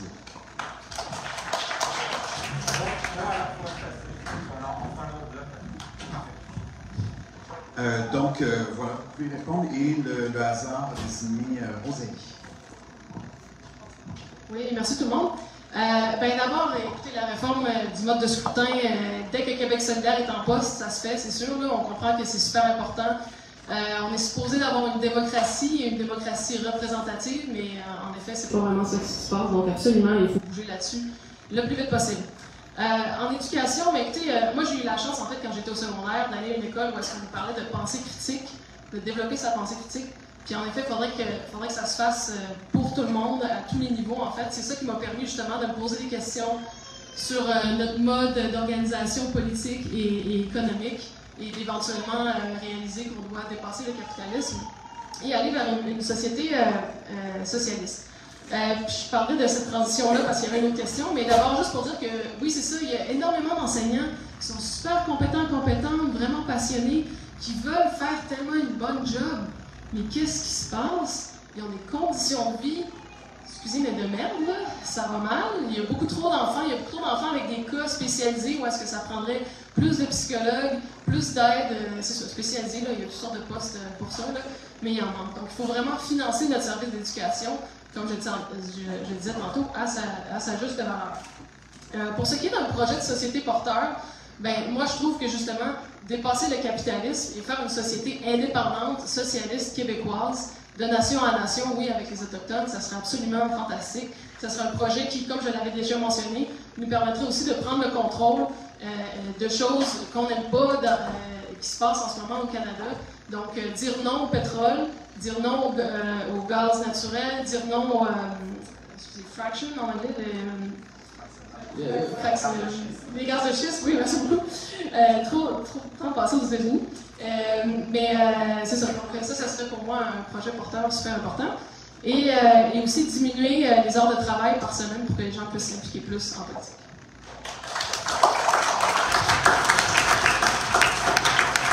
Alors, ben, je pense que tout le monde ici, on est d'accord. La réforme du monde, du mode de scrutin, c'est urgent. C'est là la plateforme des Québec solidaires, entre autres Sol Sanity. Ils travaillent là-dessus. Je pense que cette semaine, la semaine prochaine, là, qu'on pousse puis on continue à talonner le gouvernement là-dessus. Et euh, parce que c'est ça, si on avait un autre, on serait déjà dans cette réforme-là, c'est sûr que Québec solidaire est déjà plus représenté comme opposition à l'Assemblée nationale. Mais euh, c'est des questions des courages politiques et des engagements qui sont pris par les, autres partis qui, n'ont pas donné à ça. Sur l'éducation, euh, ben moi, je suis- moi, je suis à l'école publique également. Moi, je suis l'une des écoles publiques les plus pauvres de la ville de Montréal. Puis, tu sais, quand on parle de gratuité scolaire là, au primaire puis au secondaire, ça a l'air fou, là. Mais tu sais, ça, c'est dans le programme DQS, c'est dans notre plateforme, là. C'est d'enlever, par exemple, les coûts qui sont là pour la sortie parascolaire, pour la sortie culturelle, pour s'inscrire au badminton après. Toutes ces choses-là font en sorte qu'on est en train, pas seulement d'encourager nos jeunes de rester à l'école, puis qu'on valorise notre école publique, pour que ça devienne justement ce lieu de pensée critique. Mais en ce moment, nos écoles publiques là, sont tellement sous-financées, et de plus, on demande aux parents de payer de plus en plus pour ce type euh, d'activité. Fait que là-dessus, on peut, euh, on peut déjà agir, ça se fait assez. Je suis d'accord avec sur la question que l'éducation, ça peut être ce véhicule d'éducation relative à l'environnement, d'être capable de partager nos valeurs, mais pour ça, il faut qu'on lutte, il faut qu'on continue. Puis ça, c'est rôles, puis j'ai le goût de répondre rapidement, il me reste 25 secondes. Quand on devient député, c'est sûr que du jour au lendemain, on ne va pas tout changer. On sait qu'on s'en va dans une marée caquiste aux prochaines élections. Mais on peut poser des gestes, on peut poser des questions, puis on peut confronter les gens pour arriver à cette transition écologique et sociale qu'on a besoin. C'est comme ça que je vois le travail qu'on peut faire à l'Assemblée nationale si on est élu, si je suis élu en octobre prochain.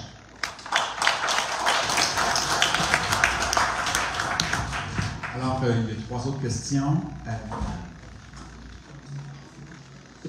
Oui, merci. Donc, euh, dans Verdun, vous connaissez bien la situation des RPA, euh, les jardins Gordon, qui sera fermé dans quelques mois pour cause de désuétude. Comment voyez-vous à l'échelle du Québec la résolution des problèmes de logement des personnes âgées, de leurs soins, en particulier à la lumière des enseignements de la pandémie et de l'urgence de revoir ces structures, une urgence qui a été mise au jour par la pandémie?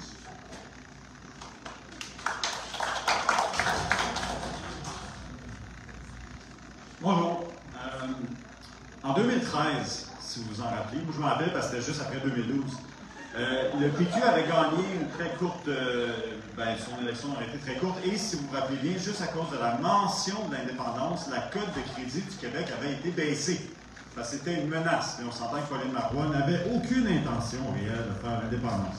Si QS gagne, j'écoute vos idées, je suis d'accord, c'est pour ça que je suis ici. Que vont être les forces qui vont se battre contre nous et que sont vos stratégies pour battre Radio-Canada, qui vont faire des articles pour dire qu'on est trop à gauche, les institutions financières, les gens qui vont dire qu'il faut respecter nos engagements commerciaux internationaux, le gouvernement fédéral qui est un pétro-État. Comment est-ce qu'on va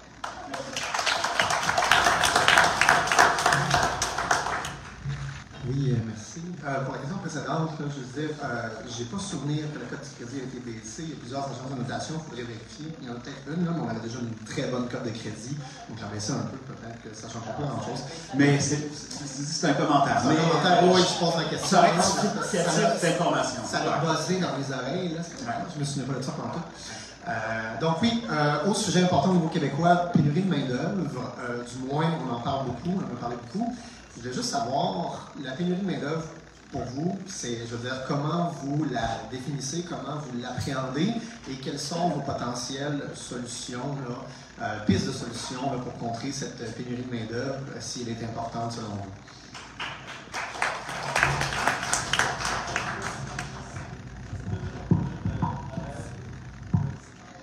Bon, on a stock en deux minutes. Fait que j'ai commencé par en arrière, donc pénurie de main-d'œuvre. Quand on augmente le salaire minimum, qu'on améliore les conditions de travail, on est en train de lutter contre la pénurie de main-d'œuvre. Parce que la pénurie de main-d'œuvre, c'est en fait des gens qui ne sont pas prêts à faire du travail mal rémunéré dans des conditions pas décentes.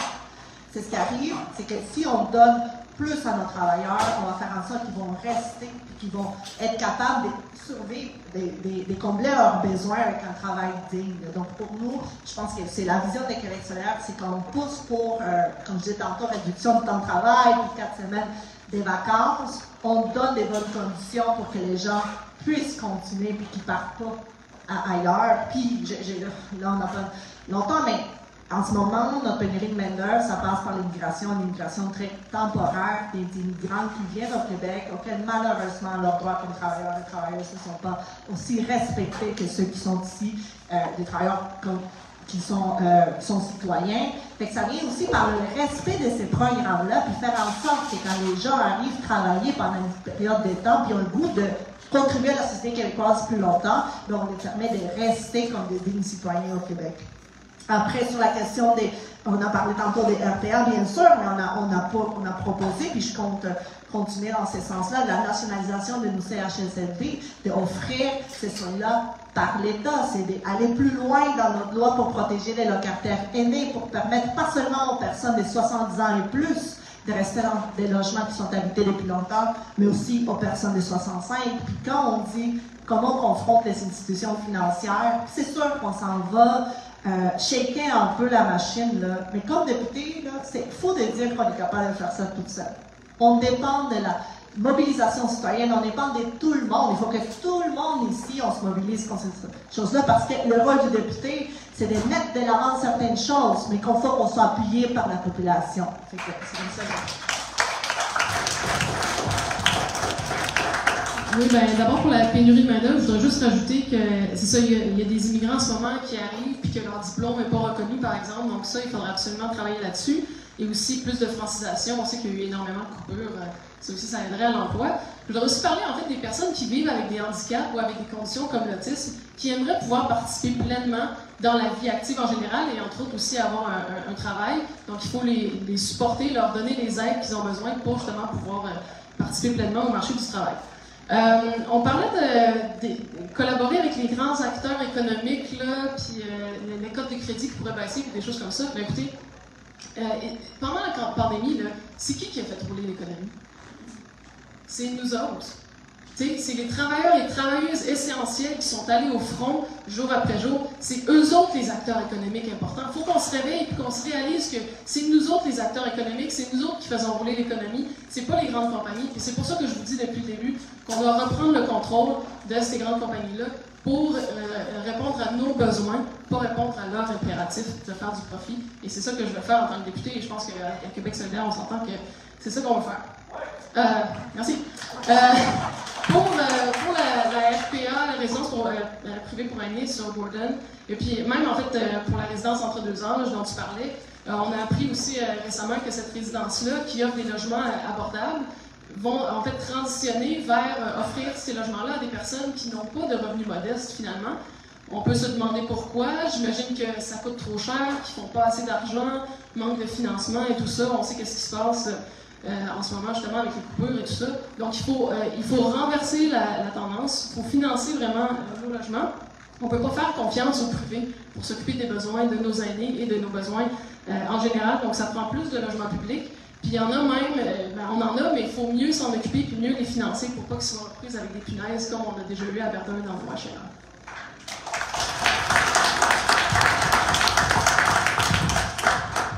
Alors, on est à l'heure du cinquième thème. Euh, un thème, euh, bon, au départ, on a, nommé comme députation, mais euh, au fond, c'est les questions qui auraient trait à l'exercice démocratique, parlementaire, la vision aussi que ces candidats ont du travail, du rôle de député, parce que, soyons clairs, il n'y a de pas une chance qu'on ait une députée. C'est, heureux que ce soit deux femmes d'ailleurs. C'est sûr qu'on aura une députée ici avant longtemps, alors vous aurez trois minutes chacune pour nous présenter votre vision du travail à accomplir prochainement. Et oui, c'est Rosaire. Merci. Donc, euh, d'abord, ben, si je suis élu, c'est sûr que je vais défendre le programme de Québec solidaire parce que c'est le meilleur programme pour bâtir une société juste. Ensuite, je m'engage en fait à ne retenir de mon salaire de député que l'équivalent d'un salaire moyen des Verdunois et Verdunoises. Et je vais faire ça en fait parce que d'abord, pour être légitime aux yeux de la population, ben, c'est important d'être dans la même situation que la population à Verdun. Et c'est une façon aussi de rester connecté avec les gens, évidemment, dans la communauté. C'est un sacrifice, je vais travailler fort, mais vous autres aussi, vous travaillez fort et vous faites des sacrifices à tous les jours. Alors, on va, faire ça ensemble. Et puis, une raison pour laquelle euh, il n'y a rien qui change dans notre société, en fait, on, fait, on sait, c'est parce que au Parlement, on retrouve surtout des hommes et des femmes d'affaires, des avocats, des avocates, qui, qui aiment ça, s'occuper des problèmes des hommes d'affaires et des avocats, pas de nos problèmes à nous. Donc, euh, euh, d'où l'importance de ne prendre qu'un salaire moyen. Et le reste, je vais mettre ça dans un fonds de lutte, un peu comme le font les syndicats, souvent des fonds de lutte, afin d'animer les campagnes militantes à Verdun. ensuite, je pense que vous avez compris justement que je suis bien enracinée euh, dans les luttes de terrain. Je connais les gens, les problématiques, les organismes, même les élus, les élus municipaux, tellement je vais les tanner souvent au conseil d'arrondissement. Et j'ai l'audace de me battre dès maintenant avec les moyens du bord euh, pour répondre à l'urgence de, la situation. Donc, j'attends pas d'être député pour euh, aider ma communauté. Je l'ai fait, je le fais encore, je vais continuer à le faire, euh, ça c'est sûr, que je sois élu ou pas d'ailleurs. Mais c'est sûr qu'être député, ça me donnerait beaucoup plus de moyens et de visibilité pour faire avancer les luttes à Verdun et ailleurs. Et pour rejoindre les gens, même les gens qui n'ont pas voté, dans le fond, pour nous, mais c'est en luttant avec eux qu'on va les convaincre, en fait, de notre programme, de nos méthodes, de nos solutions, de notre efficacité, même juste de notre sincérité, parce qu'on sait qu'il y a tellement de cynisme en ce moment euh, envers la classe politique. Et être député me permettrait à, moi et à mon équipe, et vous ensemble, de décupler les luttes euh, à Verdun. Euh, dans le fond, pour les membres de QS qui veulent se mettre en action, pour les gens dans la circonscription, tout le monde, parce qu'on sait que faire de la politique, c'est pas juste voter aux quatre ans. Et pour vaincre le cynisme, ben, il faut impliquer les gens dans la politique. C'est la meilleure façon, justement, de leur redonner confiance. Euh, notre démocratie, hein, en guillemets, si vous me permettez, fonctionne surtout pour ceux qui ont déjà le pouvoir, malheureusement. Euh, vous le savez, vous le vivez, le capitalisme veut nous tuer à l'ouvrage, euh, littéralement, dans le cas de la COVID-19. Et pour, pour qu'on soit donc trop fatigué, trop déprimé pour vouloir améliorer les choses, pour se poser des questions sur le processus politique, pour se rendre compte qu'il y a quelque chose qui cloche. Euh, donc, euh, c'est dur pour les gens de s'engager en politique. Et c'est pourquoi, euh, avec mon équipe, ben, je ferai des assemblées générales de lutte pour que les gens s'organisent pour défendre leurs revendications dans le quartier. Et on va mettre les locaux du bureau de comté, comme je le disais, à la disposition des gens qui en ont besoin pour leur lutte. Et pas juste les membres de QS, mais n'importe qui dans Verdun qui veut s'organiser, qui veut lutter pour avoir des meilleures conditions et faire de la politique autrement, parce que finalement, c'est ça qu'on veut faire. Alors, euh, c'est une société euh, socialiste organisée dont on a besoin. J'ai hâte de la partir avec vous.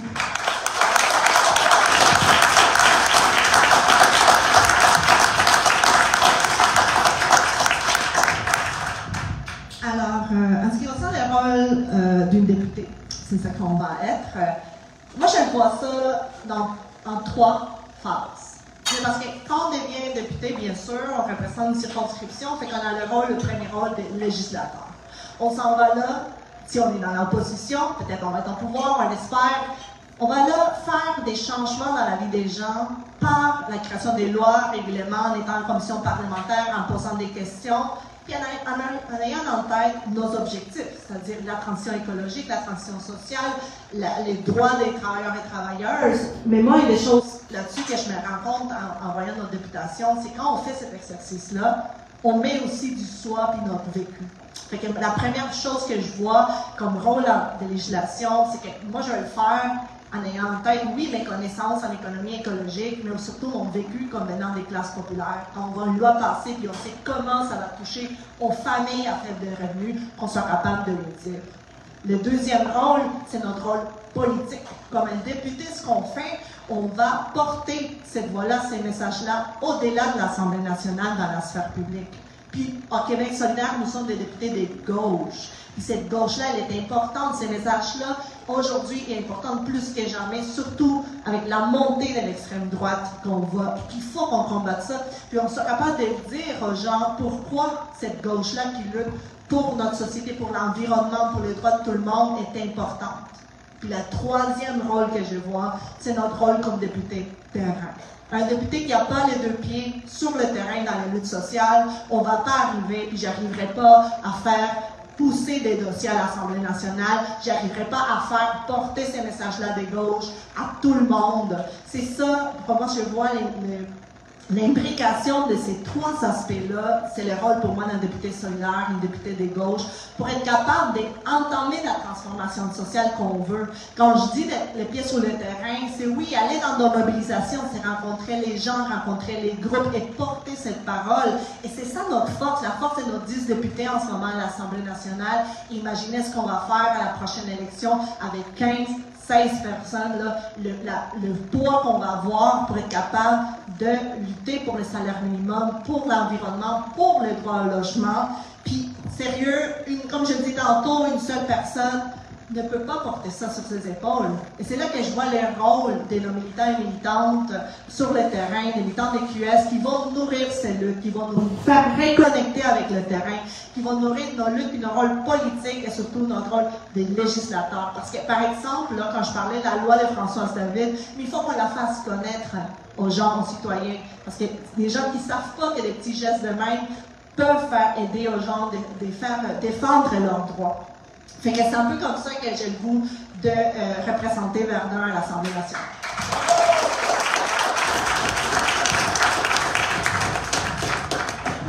Ça avait des allures de conclusion, mais on poursuit. Euh, donc, il y a euh, une question, je crois, qui Une question en fil? Non? Oui? Parfait, oui.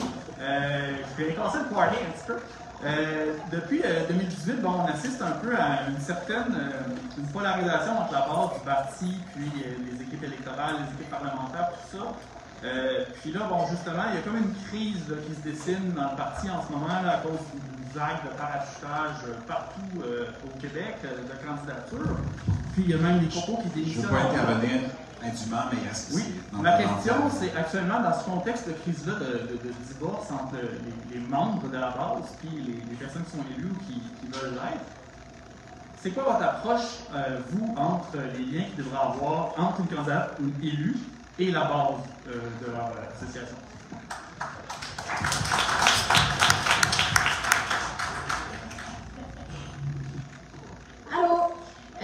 Je me demandais de quelle façon vous alliez euh, être sûr de, je ne sais pas si ça a le rapport, mais que les communautés autochtones euh, aient leur place, parce que je pense que c'est un peu le devoir, donc leur rayonnement culturel et tout ça à travers Québec solidaire au Parlement.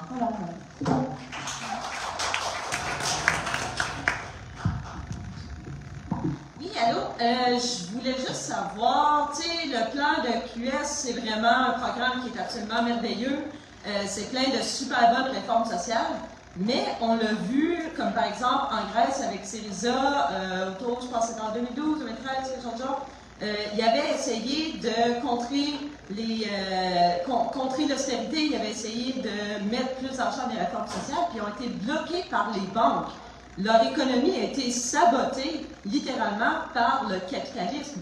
Comment est-ce que vous pensez implanter ces super réformes euh, solidaire là.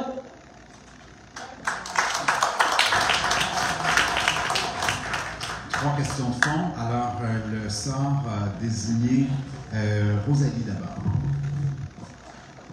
Oui, super. ben, d'abord, écoutez, le rôle d'une élue, d'une députée élue par rapport à la base, c'est clair qu'il faut collaborer, qu'il faut travailler ensemble. puis justement, moi, je suis déjà dans les luttes à Verdun, donc c'est clair que je vais continuer dans le fond, euh, c'est ça, être député, c'est pas euh, juste faire de la législation puis euh, au provincial puis oublier qu'est-ce qui se passe dans la circonscription. Au grand contraire, hein, on s'entend là-dessus. puis c'est pour ça que je parlais de justement mettre mon bureau de comté disponible pour aider les gens à, s'organiser puis à trouver des façons de répondre à leurs besoins ensemble avec l'aide de, moi et de mon équipe. Et ça, ça va aussi en fait pour les communautés autochtones. la question a, a été posée là, justement leur donner plus de place, plus de ressources plus de temps pour s'organiser, mais aussi plus d'autonomie. Hein. On parlait d'indépendance tantôt, mais justement, euh, ben, euh, excusez, c'était les enjeux provinciaux, maintenant députation, mais quand même, si on parle d'indépendance, moi je suis pour l'indépendance de tous les peuples, pour l'autodétermination de tous les peuples, incluant le peuple autochtone. Alors, s'ils veulent faire leur propre indépendance, c'est parfait. Et puis, on va discuter ensemble de nation en nation. Et puis, on va se, respecter les uns les autres, ce qui est malheureusement euh, pas vraiment le cas en ce moment. Donc, euh, moi, j'irais dans, cette direction-là. Et puis, euh, côté de l'économie qui se fait saboter par les banques, l'économie se fait déjà un peu beaucoup saboter par les banques, si, on veut voir ça comme ça. Et puis, je pense que j'ai commencé dès le début en parlant justement de, reprendre dans nos mains le contrôle des industries les plus névralgiques. Et ça, en fait, ça inclut les banques. Qui, ils sont supposés d'offrir un service, là, de ramasser nos économies, là, mais à chaque, à chaque 10 ans à peu près, il y a une crise, puis là, on perd nos économies. ben, ça fonctionne pas, ça. Elle n'offre pas le service dont on a besoin.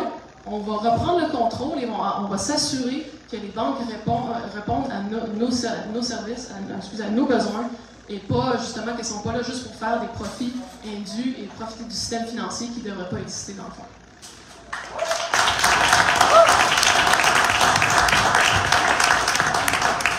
Oui, j'ai commencé par répondre à la question sur le lien avec les communautés autochtones. On a tellement la chance à Québec solidaire d'être le seul parti qu'on a une commission nationale autochtone. Il y en a deux personnes ici qui militent là. Puis on va avoir en plus des candidats et candidates issus de communautés autochtones. Donc déjà là, pendant la campagne, moi je pense que ça va faire, si je suis élue candidate ici, de faire plaisir de travailler avec ces ces, euh, ces candidats-là. Puis une des choses qu'on fait déjà, puis qu'on compte faire, c'est que tout projet, par exemple, d'exploitation de, euh, des ressources naturelles sur des territoires autochtones, il faut que Québec solidaire en ce moment, c'est un des seuls partis qui se mobilise, puis j'ai le goût de continuer à le faire pour que ces droits-là soient respectés à l'Assemblée nationale. On a dans notre plateforme, entre autres, le principe de faire respecter le principe de, de Joyce, qui est aussi le euh, respect, de comprendre en considération la discrimination systémique qui existe, qui sont vécues par euh, nos populations autochtones, et que pour ça, on a besoin de reconnaître dans le cadre de notre Assemblée au Québec. En ce qui est les liens avec la base, mais déjà ici, aujourd'hui, puis pendant toute la campagne, on fait un exercice démocratique. Ce sont les membres de Verdun qui vont nous donner la confiance à Rosalie Ouama d'aller représenter aux prochaines élections et être une prochaine députée. Donc moi, j'y crois dans cet exercice démocratique parce qu'il est super important. Puis de plus, comme je le disais, là, je vois le rôle. Moi, je suis une fille de terrain. Moi, j'ai le goût de comme, continuer à faire ce travail-là de terrain avec, par et pour aussi les membres de Québec solidaire pour qu'on continue à se faire alimenter de ces luttes-là qu'on doit amener à l'Assemblée nationale. Que c'est comme ça que je vois le rôle avec la base. Puis depuis tantôt, je sens qu'on voit le rôle de député, puis de se faire élire à l'Assemblée nationale comme la seule chose qui va changer le Québec. Pour moi, c'est un moyen, c'est un ticket que vous donnez pour défendre des choses, mais c'est ensemble. Ce sont les groupes, ce sont des syndicats, toutes les luttes qui vont en faire en sorte qu'on va arriver à renverser ce rapport.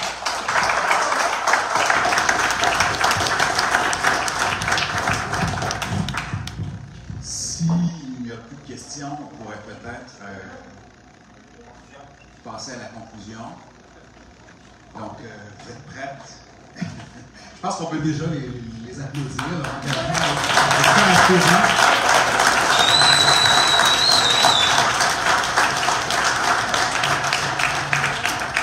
Alors, c'est euh, Ali qui euh, démarre et c'est Rosalie qui va conclure.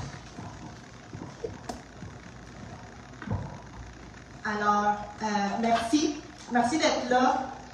Euh, cette année, Québec solidaire, on va mener encore une fois, puis ça va juste aller à crescendo, la plus grande campagne de notre histoire. Et là, ici à Verdun, on a un seul objectif, c'est de battre les libéraux puis faire élire une députée solidaire. Et là, on va avoir la chance de dire que dans le sud-ouest, le sud-ouest va devenir solidaire on va devoir se battre et avoir envoyé la voix la plus forte en termes d'environnement, de lutte sociale, de droit au logement. Parce qu'on va, comme je vous disais, on va devant une marée caquiste. Une marée caquiste que nous, on a le devoir de porter de l'espoir. De l'espoir aux gens, de l'espoir aux gens écologistes qui, qui se battent sur le terrain pour nos droits sociaux, pour les logements. Moi, j'ai le goût de me battre. J'ai le goût d'incarner ce renouveau-là, ce renouveau, cet espoir-là qu'on va donner aux Québécois et Québécoises. Puis moi, je veux dire, là, qu'est-ce qui s'en vient d'ici octobre? Que ça va pas être facile. Ça va pas être facile parce que pas seulement on va se mobiliser, il va falloir qu'on aille chercher, on va devoir combattre tout ce qui, toute la, la entre autres, il ne faut pas les oublier dans les comtés, et surtout le, désintérêt qu'on a envers la politique, des intérêts qui est venu avec le fait qu'on a donné le pouvoir aux gens ici à Verdun qui ne nous ont pas représentés comme il faut. Mais moi, je suis prête à faire à ce travail-là. Moi, je tiens à vous dire que toute ma vie, je me suis battue. Je me suis battue comme femme immigrante et racisée. Je me suis battue pour plusieurs causes sociales. Et aujourd'hui, j'ai le goût de me battre avec vous pour qu'on soit capable d'amener cet espoir-là, pour qu'on soit capable d'amener cette voix forte qui va confronter François Legault face à son inaction climatique, qui va confronter les ministres de logement pour lui dire c'est quoi la réalité sur le terrain, pour faire descendre de l'argent pour notre logement social, pour nos coopératives, pour les OBNL qu'on a besoin, pour dire haut et fort qu'est-ce que ça fait quand on a un salaire minimum pour des familles monoparentales, pour dire haut et fort et défendre les droits des personnes qui sont vulnérables, de nos itinérants, nos familles racisées dans le comté, notre population autochtone. Moi, j'ai le goût de faire ça, puis je ne le ferai pas toute seule. Alors aujourd'hui, ce que moi je vous demande, c'est votre confiance. Mais donnez votre confiance pour devenir cette candidate. Cette candidate qui va nous permettre de gagner aux élections prochaines, de battre les libéraux, puis amener de l'espoir solidaire à l'Assemblée nationale. Merci beaucoup.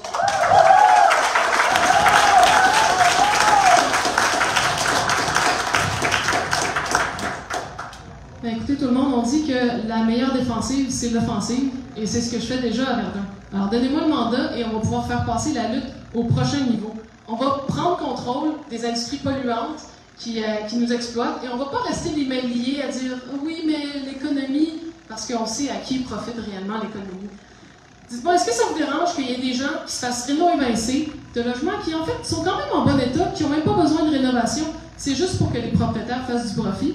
Alors que pendant ce temps-là, euh, il y a des gens qui sont forcés de vivre dans des logements insalubres, qui ne satisfont pas leurs besoins, qui ne sont pas assez grands, euh, qui sont mal entretenus par leurs propriétaires. Ça vous dérange? Pour le droit au logement. Est-ce que ça vous dérange qu'ici à Verdun, il y ait des élèves euh, qui arrivent à l'école le ventre vide parce que l'école n'a plus assez d'argent pour fournir des déjeuners gratuits, alors que pendant ce temps-là, l'industrie agroalimentaire gaspille énormément de nourriture, euh, détruit nos champs, pollue nos rivières et paie des salaires de, mi- salaires de misère aux employés euh, immigrants et immigrantes. Ça vous dérange? Pour une gestion solidaire de l'environnement et pour les droits des immigrants.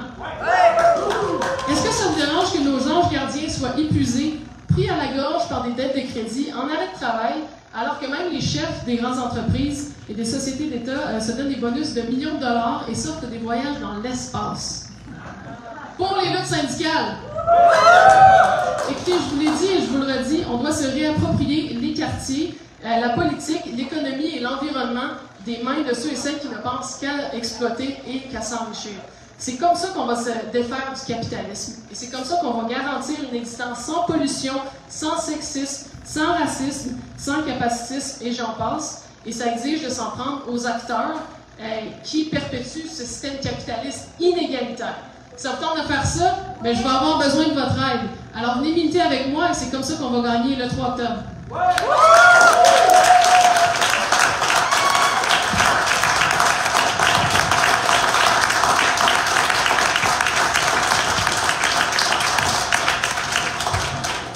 Vais pas me faire d'ennemis, mais c'est plus le fun d'applaudir à ça que juste pour le hockey. Bon, OK.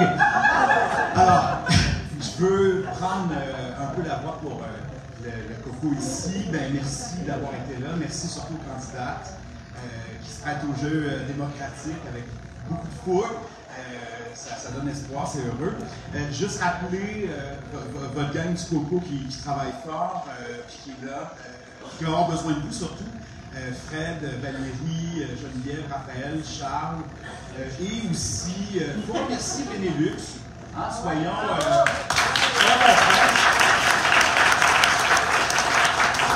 Mais je vous rappelle qu'on est très solidaire des microbrasseries à Québec solidaire.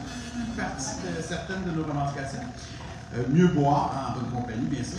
Mais euh, je voudrais euh, donc vous remercier, les remercier et vous rappeler les dates très importantes. Parce que vous devez faire votre choix. On est chanceux, on a des personnes, des qualités, candidats de très grande qualité euh, qui savent, euh, qui sont engagés, qui savent euh, défendre leur dossier. Donc, c'est le 15 mai prochain de 13h à 17h. C'est 11h? Votre participation. Désolé. Ils vont changer. Désolé. J'avais j'avais l'information de quelqu'un d'autre. Donc, c'est 11h à 17h euh, au 284 de l'église. Donc, c'est le sous-sol de l'église. On prend des 7 Et combien de dollars? 13, hein? Euh, mais c'est important et c'est le vote par anticipation. Je, vous- je vous rappelle le vote anticipé et la soirée d'investiture où les gens se retrouvent euh, là aussi, vous, vous votez ici. C'est le 30 mai prochain de 18h à 20h. Et ça tombe bien, c'est à la Maison de la Culture euh, Verdun, qui est très cher, mais qui est un objet de fierté. Alors, vous, vous êtes là euh, euh, le, le 30 mai ou le 15 juin, c'est selon. Et euh, ben, je vous rappelle que tout ça va nous amener à cet automne, un automne euh, qui va être. euh, qui a besoin de vous. Hein? Euh, Il faut absolument vous engager dans cette campagne parce qu'elles ne réussiront pas seules à défendre le projet, le très grand projet de Québec solidaire. Alors, euh, ben, faisons de Verdun et peut-être du sud-ouest. euh, euh, sud-ouest euh, solidaire. Voilà. Ben, voilà. Merci beaucoup. Tout le Québec est. Petite, petite annonce euh, d'intérêt général. Donc, si vous voulez discuter avec les membres du COCO, on va rester ici euh, pour pouvoir euh, discuter. Puis, on a un membre du COCO, Julie Fargé, qui a un petit euh, message là, à passer 30 secondes. Un petit message à la public pour celles et ceux qui ont le cœur vert. Il y a une manif euh, demain à Québec à partir de midi. Alors, ceux qui ne sont pas encore mobilisés, l'objectif, c'est d'avoir une élection environnementale, une élection de justice sociale. C'est Mère au front et Ma place au travail qui l'organise. Et euh, donc, il n'y a rien. Du pain des forêts. Derrière ça, évidemment, il y a Françoise David, il y a Anaïs euh, Barouin-Lancette, euh, Lambert et tout. Euh, ça lève, on attend vraiment beaucoup de monde, on espère parmi vous là, que vous allez être capable de vous mobiliser pour venir et à lancer le message à tous les partis, pas juste Québec solidaire, d'augmenter leur ambition, d'y aller plus vite, d'aller plus fort, d'accélérer.